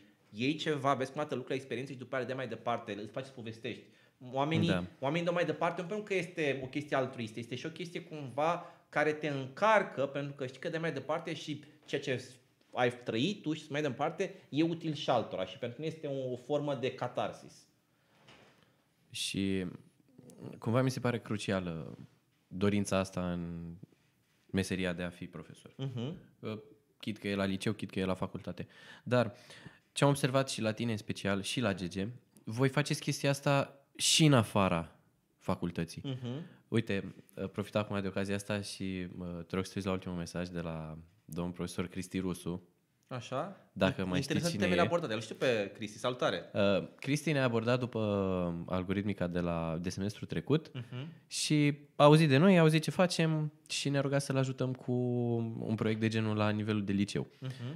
Uh, și din discuțiile cu, cu el ne-a povestit că te cunoaște și pe tine și a, aici voiam să ajung, că ne-a zis că te-a cunoscut la o tabără de vară în Timișoara, cred. Infoeducație? Arad, Arad. Sau Arad, da, Arad. Arad, Arad da, Arad, exact. Așa. Uh, mi se pare fascinant că voi faceți chestia asta și în vacanța de vară și în timpul vostru liber uh-huh. și uh, constant voi vreți să dați informații mai departe către oameni da. și cred că asta e uh, calitatea cheie ca să fiu un cadru didactic, un asistent de succes. Contraziceți-mă dacă nu e așa. Nu, Dar, n-am nu. Să așa este. Știu profesori care nu a, fac chestia asta. E că asta, asta e altă chestie care eu mai tot mai aud chestia asta și mi se pare un bullshit foarte mare, work-life balance. Când aud chestia asta, îl pun acolo la bullshit bingo, lasă prostia pe aici, pentru că mi se pare că, imediat, sau work-life harmony, mie mi se pare că tu nu ai cum să fii două persoane diferite, o persoană ca o persoană acolo și tu ești tu, da? Și dacă tu ești o persoană care are acest imbol, care nu este inerent uman, dar poate cumva la tine este exacerbat de dă mai departe, vei vrea să faci asta non-stop. Că sunt copiii tăi, că sunt rudele tale, că sunt studenții tăi, că să mergi într-o tabără, într-o comunitate, vrei să faci treaba asta. La fel cum, de exemplu, un om care este pasionat de tehnologie, îl duci într-o pădure să apuce și face ceva cu paci și întoarce toate părțile. Dacă îl duce pe Elon Musk să facă nu știu unde, de, într-o, într-un deșert, să face, nu știu, case de nisip, toate nebunile respective. Asta este, asta este persoana respectivă. Și mi se pare că e cumva în in the, great, in the great scheme of things, pentru mine personal, e să ajungi cumva la acest eu al tău care spui, bă, ăsta sunt eu ca persoană, inginer, poet, artist, politician, ce vrei tu, în care oriunde ai fi pus, aia o să faci. Da. E, e imboltul cumva inerent natural să faci chestia respectivă. Da? Și când apare separația asta work-life, care e faza fate acolo? Că ești două persoane, e, asta e o formă de, nu știu așa, de schizoidism, știi? Tu ești o persoană, ai un anumit profil personal care se va regăsi în mod evident în toate activitățile sale. Dacă ești cumva, să spunem, profesor, dar nu profesor numai care doar dă cu rigla și spune așa nu este bine, ci în mod autentic un om care dă mai departe, vei face asta peste tot. Dacă ești un inginer, vei, vei ingineri peste tot. Dacă ești o persoană, cumva un diplomat, vei găsi mod de a, de a, de a uh, media interacțiuni toate părțile. Pentru că asta ești cine ești tu de fapt. Da. Ce aș vrea eu aici să adaug, cumva îmi dau seama că, până la urmă, momentul când îți găsești umenirea, misiunea ta în viață te duce acolo în față pe ea. Dar nu trebuie să uităm următorul lucru, că eroii morți nu pot salva. În ideea în care tu ca persoană, dacă tu nu ai ce să oferi, nu ai de unde să dai, înseamnă că nu poți să dai. Și ar trebui să te concentrezi și pe tine. În ce a zis Răzvan, înțeleg, sunt de acord într-o oarecare măsură, dar nu sunt de acord cu de totul pentru că tu nu poți să dai mai departe în momentul în care nu ai ce să dai. Uh-huh. Există necesitatea la un moment dat să faci stop, să te uiți și asupra ta, să mai înveți anumite lucruri, să vezi exact, să-ți iei energie și să dai la mai departe. Dar a... Eu în, în sensul ăsta aș vedea uh-huh. varianta de work-life balance, până la urmă să te uiți și în ograda ta, cum te ești, ceea ce vrei să, ceea ce vrei să investești în tine și după să vezi, ok, cum pot să contribui, cum pot să dau mai departe. Da, deci practic ce spui tu și eu sunt de acord este că există un fel de echilibru inward driven, outer driven. Exact. Deci nu este work-life, nu este chestia care work este doar ce fac pentru și uh, life este doar pentru, pentru mine. Ești mereu în cele două. Și într-adevăr este stupid să te apuci doar să dai și să nu iei nimic, pentru că e, na, e, nu, e, nu e echilibru, știi? Da. E vine din, din ambele părți. Clar trebuie să ai timp pentru amândouă. Deci asta este absolut evident. Dar este un echilibru inward driven, cum de exemplu eu stau, când stau singur, eu, eu uh, sunt uh, o persoană extrovertă, dar petrec foarte mult timp cu mine însumi și cred că am zis și când am văzut descrierea, sunt foarte mare fan al uh, solitude. Nu singurătate, cât uh, solitudine. Să rămâi cu tine însuți, uh-huh. să te cu gândurile tale. Mie mi se pare că mulți oameni au teamă de a fi singuri, pentru că asociază chestia cu singurătatea, cu loneliness și au teamă de a fi cu gândurile lor. Au ce Nu, este foarte important să stai tu acolo cu tine în perioade semnificative uh-huh. de mhm. timp ca să ceri informațiile să le, să le rumezi, să le așezi, ca după aia când le dai mai departe, când le folosești, să fie cu cu cap. Deci e, în, sunt în aceeași uh, asentiment cu ce a zis uh, Gege, timp pentru tine, timp pentru ceilalți, parte în aceeași persoană. Ok, bun, frumoasă concluzia. Mă gândeam, uh, mai luăm câteva întrebări și încercăm să terminăm pe la 11. Sigur. Ar fi perfect un podcast de două ore. Hai să vedem ce putem să mai luăm din chat. Dacă nu ați fi profesor, ce ați fi? Acum... Gege. nu știu. Um, eu mai am și niște, am zis asta la început, niște roluri active pe lângă și cred că chestia asta cumva mă definește să fiu, nu neapărat să mi-aloc foarte mult timp în multe direcții, ci efectiv să ajut cât de mult pot și a zice chestia asta să contribui pentru mine nevoia asta de a contribui este super, super importantă. Și cel mai probabil, dacă nu aș avea uh, focusul ăsta foarte mare pe tot ce înseamnă zona de educație, în mediul universitar, probabil m-aș duce puțin mai jos. Am mai cochetat și cu tot ce înseamnă zona asta de tehnologie pentru puști, uh-huh. uh, okay. inclusiv partea pentru de pistoale. liceu. Puștii, puș, puștoaice, ca să fim așa, pisigi până la urmă. Uh, dar aș, cred că aș fi mai mult mai activă pe tot ce înseamnă zona asta de programe educaționale în alte sfere. Ok. Deci cumva tot, tot aici te Într-un fel sau altul, da. Cred că... Profesor în arte și Da, da, am înțeles. Da, așa. Nu, nu, și asta, și asta. Uh, cumva răspunsul așa, pe scurt, ar fi orice. Uh, răspunsul mai lung ar fi... Uh, orice fel de activitate la capătul căreia cumva um, aș crea ceva sau aș construi, nu, aș construi ceva. Acea construcție poate să fie ori oameni, ori comunități, ori uh, un produs, de exemplu, o chestie sos sau inclusiv cea. Deci orice chestie care, la care eu sunt parte din proces de construcție. Și are o finalitate. Și are, nu neapărat finalitate, că poate e construit ca o chestie care evoluează, poate fi așa ceva, da. Uh-huh. Converge către ceva, ca să converge da, da, către da. ceva, e super ok. Deci aia poate ar putea să însemne și orice formă de inginerie, orice formă de educație, orice formă de uh, inclusiv nu, am, nu, nu, nu simt că am talent artistic, dar și în zona aia, orice cumva art, parte creativă, e acolo, parte de organizare, la fel, parte de optimizare cumva, de cum, le, cum merg lucrurile, la fel, nu știu, construcții de șosele, anything, orice mi că la sfârșitul zilei cumva am contribuit la construi ceva, ori oameni, ori uh, Uh, nu știu, insuflu niște idealuri, ori, uh, ori creăm organizatori, creăm ceva fizic, ar fi super ok. În câțiva ani uh, citim bibliografia lui Răzvan Deoconescu? Da. De la drumuri și poduri. Ăla, ăla, de la drumuri și poduri acolo, da, de, pe, de pe la Cernavodă. Ok. Uh, asta cu ați fost momente când ați regretat, v-am mai întrebat. Ce sfat ați da unui student care vrea să facă parte dintr-o echipă a unei materii? Ah, uite, o întrebare interesantă. Și cred eu că o informație care i-ar ajuta. Uh, ce, ce sfat mi-ați dat mie acum dacă aș vrea să fiu parte dintr-o echipă? Na, luați-o așa. Uh, sfatul Intenție. Prim, primul sfat ar fi do it. Ăsta ar fi primul sfat. Ok. După aia aș întreba de ce. Da? Și după aia că dacă deci mi-ar plăcea, bă, da, go, go for it, adică mi se pare că e o experiență care merită pentru toată lumea. Și apoi te de ce, ca sunt curios doar de, aș fi curios de chestia asta, în special ca să fii tu convins ca să-ți dorești. Uh-huh. Da? Fix Dar al... legat de ce explicai mai înainte. Da, adică să, să o faci for the right reasons. M-a întrebat și am avut o discuție cu Costin Sin uh, undeva în, cred că la începutul semestrului trecut, mă că vrea să facă echipă de programare, dacă îi, îi spare o idee bună și am zis, bă, da, go for it. Păi de, dar nu știu cum, dacă nu știu, dacă nu știu ce. Măi, dacă tu îți dorești, nu spune, nu spune tu singur piedici de ce o să se întâmple dacă. Dacă îți dorești asta, go it. Sigur o să fie o chestie, uh, o chestie bună. E nevoie, deci primul că este nevoie și dacă you're doing it for the right reasons, în mod evident vei avea un, uh, un impact. Și merită. Mie mi se pare super important să îți setezi așteptările. La ce te referi aici? În ideea în care, ok, îmi doresc să fiu parte dintr-o materie, din partea uh-huh. unui colectiv, să văd care sunt intențiile mele, ce așteptări ar trebui să am eu de la activitatea de pe parcurs și inclusiv cât de mult vreau să investesc în asta. Pentru că din ce am mai uh, experimentat în ultimii ani, au fost destul de multe persoane sau au fost cred că generalizez aici puțin, au fost câteva cazuri care au zis la un moment dat, ok, boss, dar stai puțin, că eu am facultate, facultatea primează. Nu e chiar așa, pentru că e vorba de responsabilitate și tu dacă îți dorești chestia asta și o faci, fă-o până la capăt.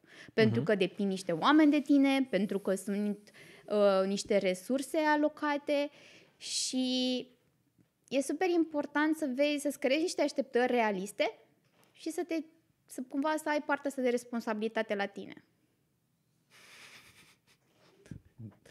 Citeam ultimul, ultimul mesaj, scuze. La ce și GG acum. Da. Da, nu știu. Eu știu de planuri de alimentație, dacă vrei să spun, dar nu știu dacă te coafează ca să fiu Uite, așa. Mă gândeam la o chestie acum. N-am fost asistent la nimic, deși cred că mi-ar fi plăcut, dar na, liga și toată conjunctura asta nu mi-a lăsat da. timp. Responsabil este nevasta copii, știm. Așa?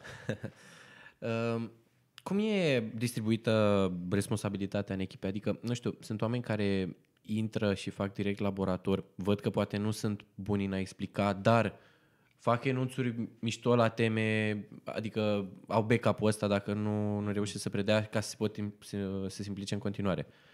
În general se întâmplă, da. Este, este asta. În general, oamenii, dacă uh, se mai întâmplă astfel de cazuri, în general, oamenii care ajung își, uh, cum să spun, își uh, cizelează skillurile uh-huh. și ajung să facă o treabă destul de bună e, e, e prima oară, există un potențial șoc inițial în care poate nu te descurci prea bine, dar părerea mea că dacă insisti o să fie ok, că trebuie să fii un antitalent puternic ca să nu te descurci la lucrurile astea, că până la este chestie umană. Cum vorbești și cu alți oameni, da. așa e și aici. După cum asta am o chestie mișto de la Andrei Pleșu, care spunea un discurs e o discuție cu cineva în care acel cineva este foarte important.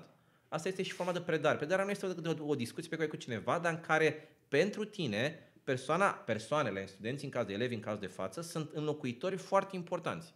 Dacă ăsta este mindset-ul tău, n-ai cum să o dai atât de rău în bară.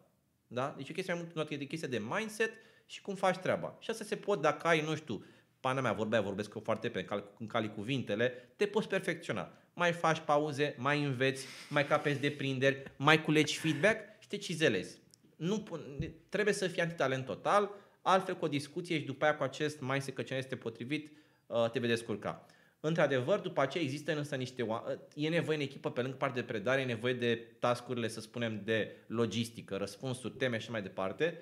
Și aici ai, astea sunt părțile cele mai grele, pentru că laboratorul este o chestie foarte delimitată în timp, de la mm-hmm. 2 până la 4, mergi acolo, gata, e regulă. Da, exact. Partea de este mai complicată și aia, aia cumva reliefează cât de bun este omul, pentru că dacă este reliable, dacă este creativ, dacă știe cum să împartă tascuri, să coordoneze cu ceilalți, să se înțeleagă, să iasă lucrurile la timp, să respecte termene, aia e partea mai complicată. Deci partea cu predatul e ceva care mi se pare că destul light, aia se rezolvă. Dacă este omul super îndărătnic sau cu nu știu ce nebunii, nu o să iasă bine. Partea însă critică este implicarea sa în echipă ca o persoană profesionistă. Să-și facă treaba bine, să înțeleagă ce vrem să facem, să aibă partea asta cumva de creativitate și să fie, să fie team player. Ca deci, în orice altă pro- proiect companie, până la urmă, nu e nimic diferit. Asta voiam să zic, că îmi pare că nici explici așa o structură organizatorică, la fel ca, ca la o companie. Nu știu, e un IMM, Sergiu Vai spune că este un IMM. Deci este un IMM, ce să mai... Lasă prințesa în pace. Și sunt alternative și pentru cei care poate simt că nu stăpânesc atât de bine relația cu, da, cu da, oamenii. Da, și există uh-huh. oameni în echipe didactice care fac doar partea asta, cumva spun, nu mă place, ori nu le place, ori n-au timp, ori simt cum se descurcă, dar vor fi în echipă și au, un, au o implicare foarte bună și fac asta. Avem astfel de cazuri, de oameni Bun. care sunt super buni și ne face plăcere, chiar că nu vor să țină ore, că sunt în echipă. Dacă ar vrea să țină ore oricând ar fi deschide pentru treaba asta, e ceva care ține mai mult de ei, nu e neapărat... Uh, da, exact. Și, dar altfel își fac treaba foarte bine în echipă și apreciem. E, uite, e bine că am înțeles și de acasă că Poate, nu știu, mulți sunt reticenți în da, a deci, vorbi dacă cu oamenii. Să, și... Vă plățim ca în echipe și pe partea nedidactică. E mare nevoie de oameni care fac teme de casă, lucrează cu studenții, actualizează uh-huh. laboratoarele, fac infrastructura, Mare nevoie. Și cred că, e, da, asta vreau zic, că e mai mare nevoie aici decât de oameni care țin laboratoare, e, nu? E, e că ai nevoie de oameni de laborator care să țină acele la, e că e nevoie de un fel de uh, obligatoriu să ai niște oameni care scupe orele, dar mm-hmm. după aia partea asta este o parte care este cum să spun... Uh, Outside of uh, nu, e, nu, nu, nu, nu, are, nu, are, nu are chestii fixe și asta este o zonă în care dacă tu ai idei, poți face un alt de lucruri. E o, e o zonă mult mai liberă. Da. Deci aia cumva îți oferă o, un, un, un, un gard, să spunem, o zonă în care activezi. Asta e o chestie mult mai liberă în care ești o persoană cu inițiativă, vei putea face foarte multe lucruri. Bun. Uh, chiar mă bucurăm un pic chestia asta. Hai să vedem ce mai putem lua din chat. Repede vreo două, trei întrebări. Mai sunt întrebări noi? Nu? Ok. Lumea e atentă, vedeți, nu, nu uh-huh. se spune întrebări. Uh-huh. Cât de mult contează să întâlnești un asistent bun ca să devii un asistent bun? Nu trebuie, pentru că exact ce a zis și Răzvan, printre primele lucruri, până la urmă, unul dintre sfaturi pe care le vei primi la un moment dat, imaginează-ți cum ai fi vrut tu să se întâmple lucrurile pentru tine. Și până la urmă tu dacă consideri că interacțiunea cu o anumită persoană la un moment dat nu a fost benefică ție, poți să întorci adică chestia asta să nu? fie invers. Mm, uh, aș spune că sunt uh, două lucruri. Deci, primul rând, ai nevoie de un asistent, uh, noțiunea de bun e, ai nevoie de un asistent care să să-i placă să fie acolo, ai nevoie de noi care să te inspire. Deci, uh-huh. ai nevoie de, de o figură care să te inspire. Asta e foarte important. Poate să fie un titular de curs și mai departe. După aia, într-adevăr, multe experiențe negative le poți ca fiind, măi, asta aș face cumva, altfel le face în felul ăsta. Dacă ai găsit o persoană care te-a inspirat, e suficient. Nu mai ai nevoie de alți oameni. Pentru că asta ție, băi, în boldul, în asta, vreau să fac și o chestie asta, aia e tot ce există, știi? Da. Deci dacă ții inspirația ori dintr-o persoană, ori dintr-o dorință ta internă, aia este tot, nu ai nevoie de asistenți buni. Poate, poate din potrivă, te ajută oameni mai puțin buni care să-ți dea măsura cum ar fi bine să întâmple lucrurile respective. Asta aș face-o cumva mm-hmm. altfel, mm-hmm. pe că nu mi se pare că am înțeles-o eu, nu au înțeles-o nici colegii mei și hai să facem mai bine. Și, de exemplu, de, de multe ori, implicarea, multor, implicarea oamenilor în echipe didactice vine pe aceste două filoane. Mi-a plăcut mult de ăla, vreau să fiu la fel ca el, sau, bă, nu mi-a plăcut partea din materie și vreau să facem mai bună. Ambele sunt la fel de valide și ambele sunt da. uh, apreciate. Mai luăm o întrebare? După care 10 minute dacă aveți și voi întrebări. Okay. Bănuiesc să tragi niște concluzii. Uh-huh. E ca la interviu, știi? Tu ai întrebări pentru noi? Hai să vedem ce, ce vreți să mai alegem. Ia de acolo ceva, ce îți interesant. Um, ce recomand celor care vor să bage? Nu a mai fost. Mm. Care e cea mai trăznită amintire pe care o aveți din facultate? Uh, Singapore? Trăznită? Da. Nu, Singapore nu e nimic trăznit neapărat acolo. Trăznită. Nu știu, pentru cei de la ingineria sistemelor care ați făcut sau o să faceți uh, ingineria reglării automate, pentru mm. mine a fost un uh, moment uh, de turnură când am aflat că am luat 69 de puncte la acea materie. A fost cel mai bun 69 din facultate, așa că... Au mai fost și altele, dar la de facultate a fost cel mai bun. Nu. Asta e... Na, oricum n-am realizat pe momentul de 69 și eram, ai luat 69 și eram, am trecut? nu știu, alt, altă chestie nu vine deocamdată în minte. Uh, ai văzut ultimul mesaj? Mm-hmm. Am, uh, nu știu, o chestie care mi-a rămas în cap era, nu știu, că prin 2008 sau 2009, nu mai țin minte când, se făcea împărțirea, împărțirea laboratoarelor de rețele, am țineam laborator de rețele atunci, și nu știu, cumva am întârziat. Era în vremurile care acum mi-aș da niște palme în cap instant pentru chestii genul ăsta. Și am ajuns, eram să făceam în sala G100 să se lumea, toți asienții în 106 și puseră pe tablă laborator, să vedem cum le ține fiecare. Am întârziat acolo și acum când am ajuns în momentul respectiv, încă deci eram, eu am o, am o zonă asta, o chestie super colerică în mine, dar deci eram așa, complet uh, unhinged. Mă stăcea țipam la oameni, am ce problemă. Și intru acolo și deja oamenii părăsesc role și spunea, gata bă, râdă-te, te-am împărțit, gata, eu le asigurate. Și mai zis așa ca o formă așa cumva de... M-a așa la o parte și zis, ia uite de acolo ce s-a întâmplat. Orele erau destul de bine puse cumva. Și aveam o oră de laborator de la 8 la 10 seara, lunea, Ma. și următoarea cred că era la 8 la 10 dimineața a doua zi, marțea sau ceva în genul ăsta. Și eram așa, am înțeles, Nu știu ce, ce, ce, am țipat la am făcut chestia acolo și am zis, morți voi pe casă, ce nu mai fac așa ceva, băg aici. Și vine după mine, bă, râste mă că aici am discutăm puțin. Nu, nu eram, știa, aproape că nu ne-am plâns, dar eram enervat, îmi pierdusem orice formă de, de control. Am fugit, am plecat de acolo, ăla vine, mă, Răzvan, stai un pic să mie. O asistat pe Ole, că știa că era da, da, da. agresiv. De așa m-au auzit undeva, ăsta venea după mine, râde, stai aici, colapsezi, clachezi aici, ce vrei? Nu, lasă-mă în pace. Bă, deci eram ca două precupețe de la, cum să spun, nu știu, soacră, noră, care se mai sportau pe vecie. Nu, nu, nu, ăla, eram pe, da, eram în holege, ăla venea după mine, eu mergeam acolo, stai, clachezi aici, nu mai pot, început, era, a fost o nebunie. Și am zis, până m-am auzit undeva, nu știu în ce s-a stat că vreo 5 minute, nu știu cum, eu am într-o stare de că nu văzut nimic, dar eram tot incredibil de nervos, e ceva, că ce am cu toată lumea și nu știu cum și nu știu ce. Am încercat cumva să mă pacifice, dar eram terminat complet nicio chestie și până nu știu cum s-a așezat. Am înțeles după aia după vreo jumătate de oră mai calm, dar dacă aș fi acum în locul meu, dacă, dacă aș fi cumva m-aș vedea acolo, m-aș lua la bătaie sigur. M-aș lua la bătaie sigur. Bine, și părâr, că și s-a reacționat foarte tâmpit după aia, da, eram, da, înțelegi, mi-a, mi-a, mi-a, mi-a sărit smalțul, gata, buș, nici o treabă urlat pe acolo, pe holul, până la 9 seara, nu știu când era. Doamne ferește, Doamne ferește. Deci ăsta era râdul dinainte. Da, da, da. nu că și acum e acolo, iese de bine, dar e, e un pic. L-am, l-am astupat bine, îl țin sub control.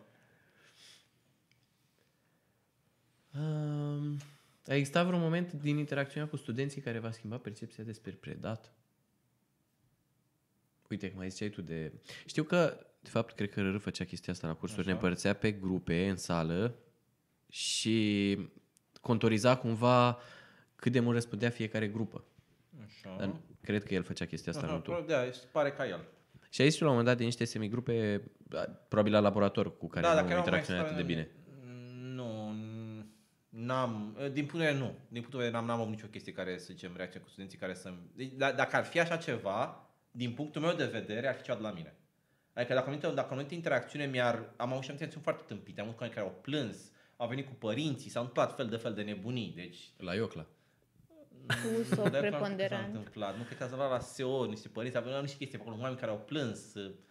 Daniel ăsta are două astfel de experiențe, deci le știu pe astea. Am puțin multe chestii, dar pur și simplu nu le-am luat ca fiind, uh, poate a fost și greșeala. Am, zis, am învățat, am, poate am greșit, cine nu greșește, dar uh, am învățat. Deci cam asta a fost. Deci da, dacă ajunge cumva asta e de ambele, de ambele tabere, de ambele părți ale catei. Dacă cineva te deranjeze încât să-ți schimbe pe asupra lumii, uh, e mai grabă ceva de la tine decât la cealaltă persoană. Așa mi se pare.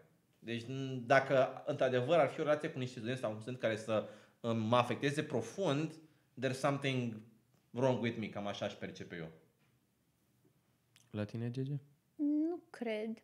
Adică ce vreau să punctez aici, mi se pare super useful să existe momente în care să existe acel feedback și non-verbal și paraverbal și verbal și atunci să existe o calibrare, dar per total să fie schimbată percepția, mi se pare că e din alt unghi și subscriu la ce a zis Răzvan că momentul când e schimbare de percepție înseamnă că ceva la tine este eronat sau ceva nu, nu ești tu confortabil uh-huh. cu mhm. ceva anume. E un disconfort undeva uh-huh. și nu vrei să îl da. sapi până la el. De acord uh-huh. aici. Păi, uh, eu cred că am acoperit cam toate întrebările din chat. N-au fost chiar atât de multe, surprinzător. Cred că lumea a fost mai focusată pe discuție. Dar cumva, prin, prin tot ce am discutat, cred că le-am uh, acoperit pe toate. 10 minute, dacă mai aveți voi întrebări. Întrebări publicului sau voi sau la ce te referi întrebări? Publicului nou,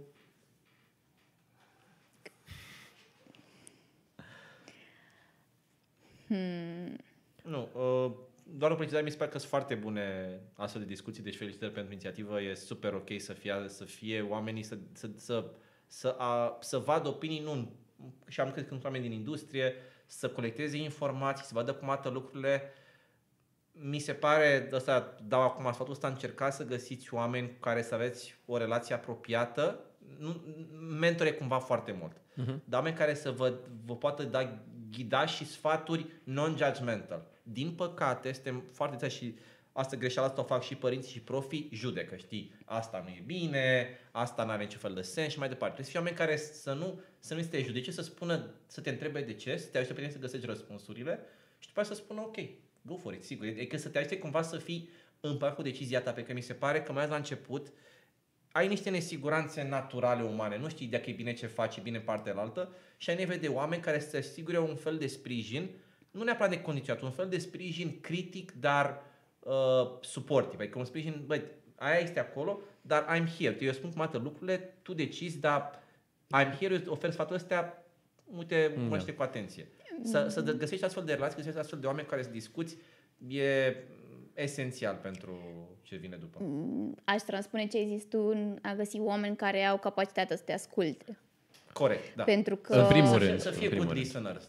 Non-judgmental good listeners.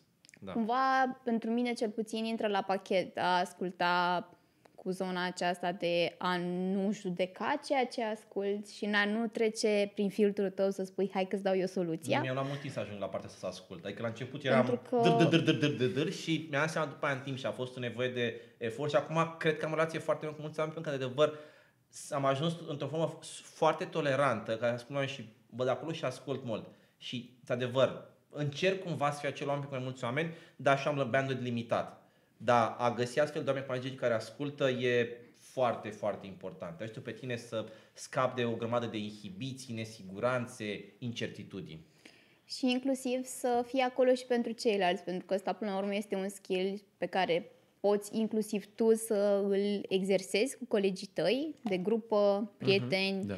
and so on. Pentru că, na, cu toții greșim și avem tendința asta de a încerca să filtrăm prin experiențele noastre lucrurile pe care le auzim și de cele mai multe ori persoana din fața noastră are cu totul alt, uh, să zicem așa, bagaj emoțional inclusiv și prinde foarte, foarte bine să încerci pe cât de mult posibil să înțelegi lucrurile de acolo și doar să intervii cu întrebări suficient de puternice ca el să-și găsească singur răspunsul.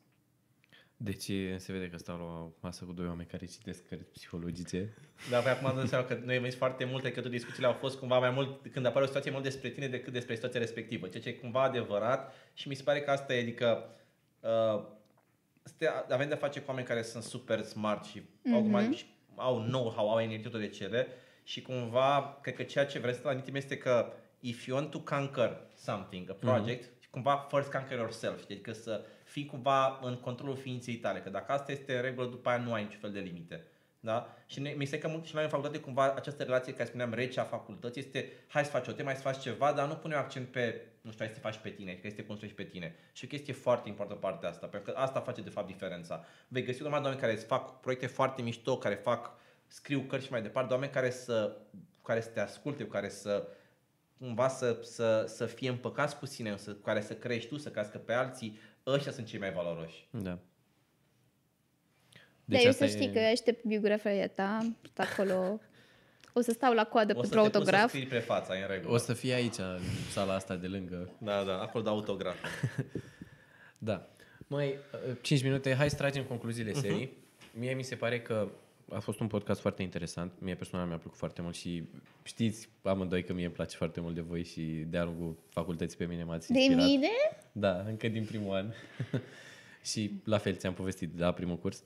Uh, pe lângă ce am vorbit de partea asta cu ce înseamnă să fii cadru didactic, cum poți să ajungi acolo, ce abilități trebuie, mi se pare că ne-am dus într-o direcție cam pe ce ar trebui să fii stăpân pe tine însuți ca să reușești să fii un profesionist de succes, uh-huh. aș mhm. zice. Uh-huh. Nu neapărat uh-huh. un profesor. Uh-huh. Nu? Cam asta ar fi concluzia serii. Dacă vreți să da, mai... și ideea că acest profesionist, să spunem, va fi în permanență o persoană care va lucra cu ceilalți. Nu e ca și cum da. să fii profesionist într-o, într-o peșteră.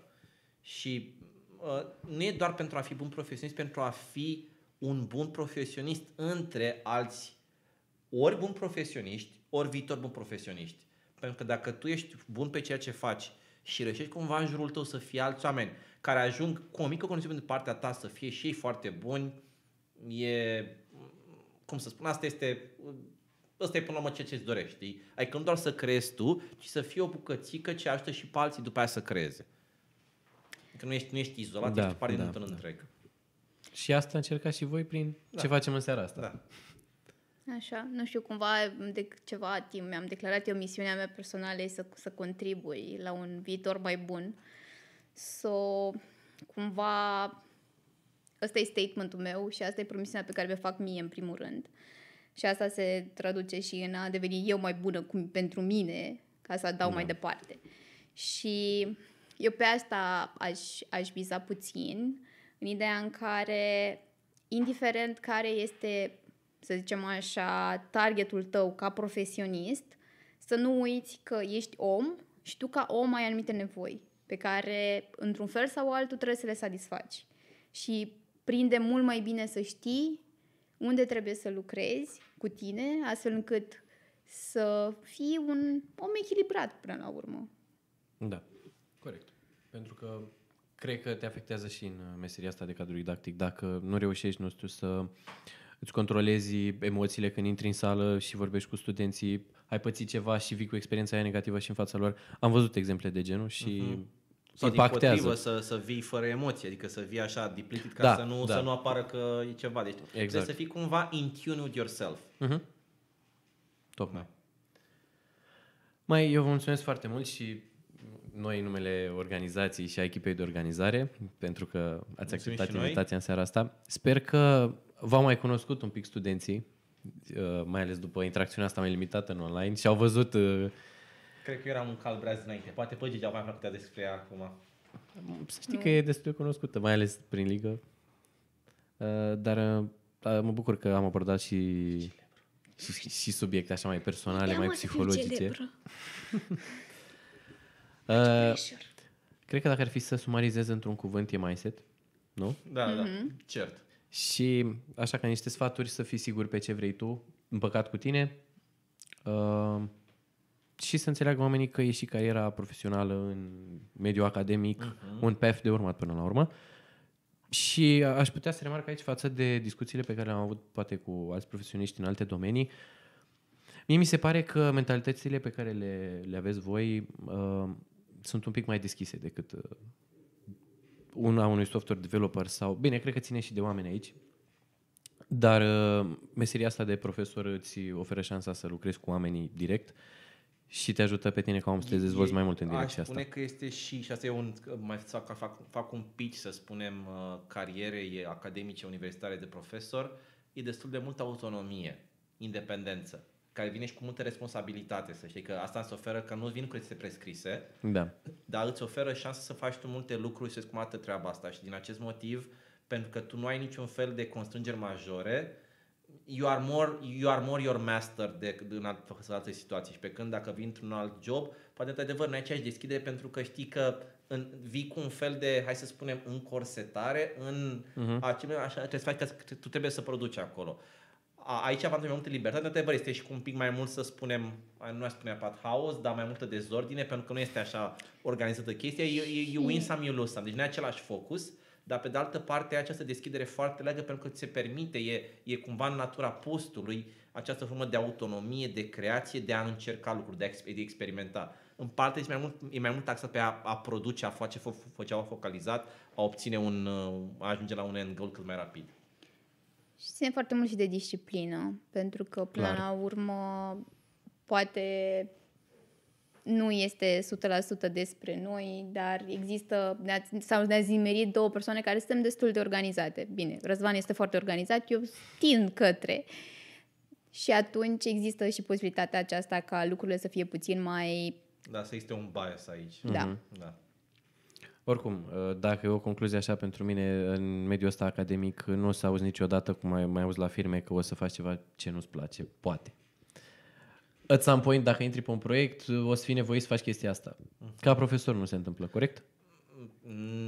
Nu, nu, nu putem pune la nivelul de absolutizare. Ai și aici chestii de făcut, ai birocrație, multe lucruri de făcut. A, nu, deci, mă refer la nivel de cunoștințe. Adică tu alegi informația pe care vrei să o transmiți. În, în, în linii mari, da. Deci în linii mari cumva ai mai multă putere pe chestia asta. Nu, e, nu este uh-huh. ca și cum uh, faci ce tătai pe tine capul și arunci acolo și în jur de sfinți. Nu este la modul ăsta. Deci ai, ai niște responsabilități să dar într-adevăr nivelul de libertate este, este mai mare.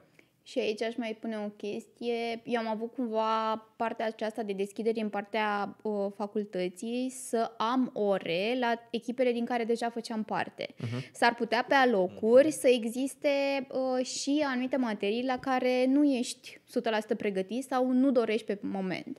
Și atunci aici mai sunt anumite ajustări. N-aș uh, zice absolut că nu o să lucrez, dar există o flexibilitate mult mai bună. Uh-huh. Uh-huh. Ok, bun.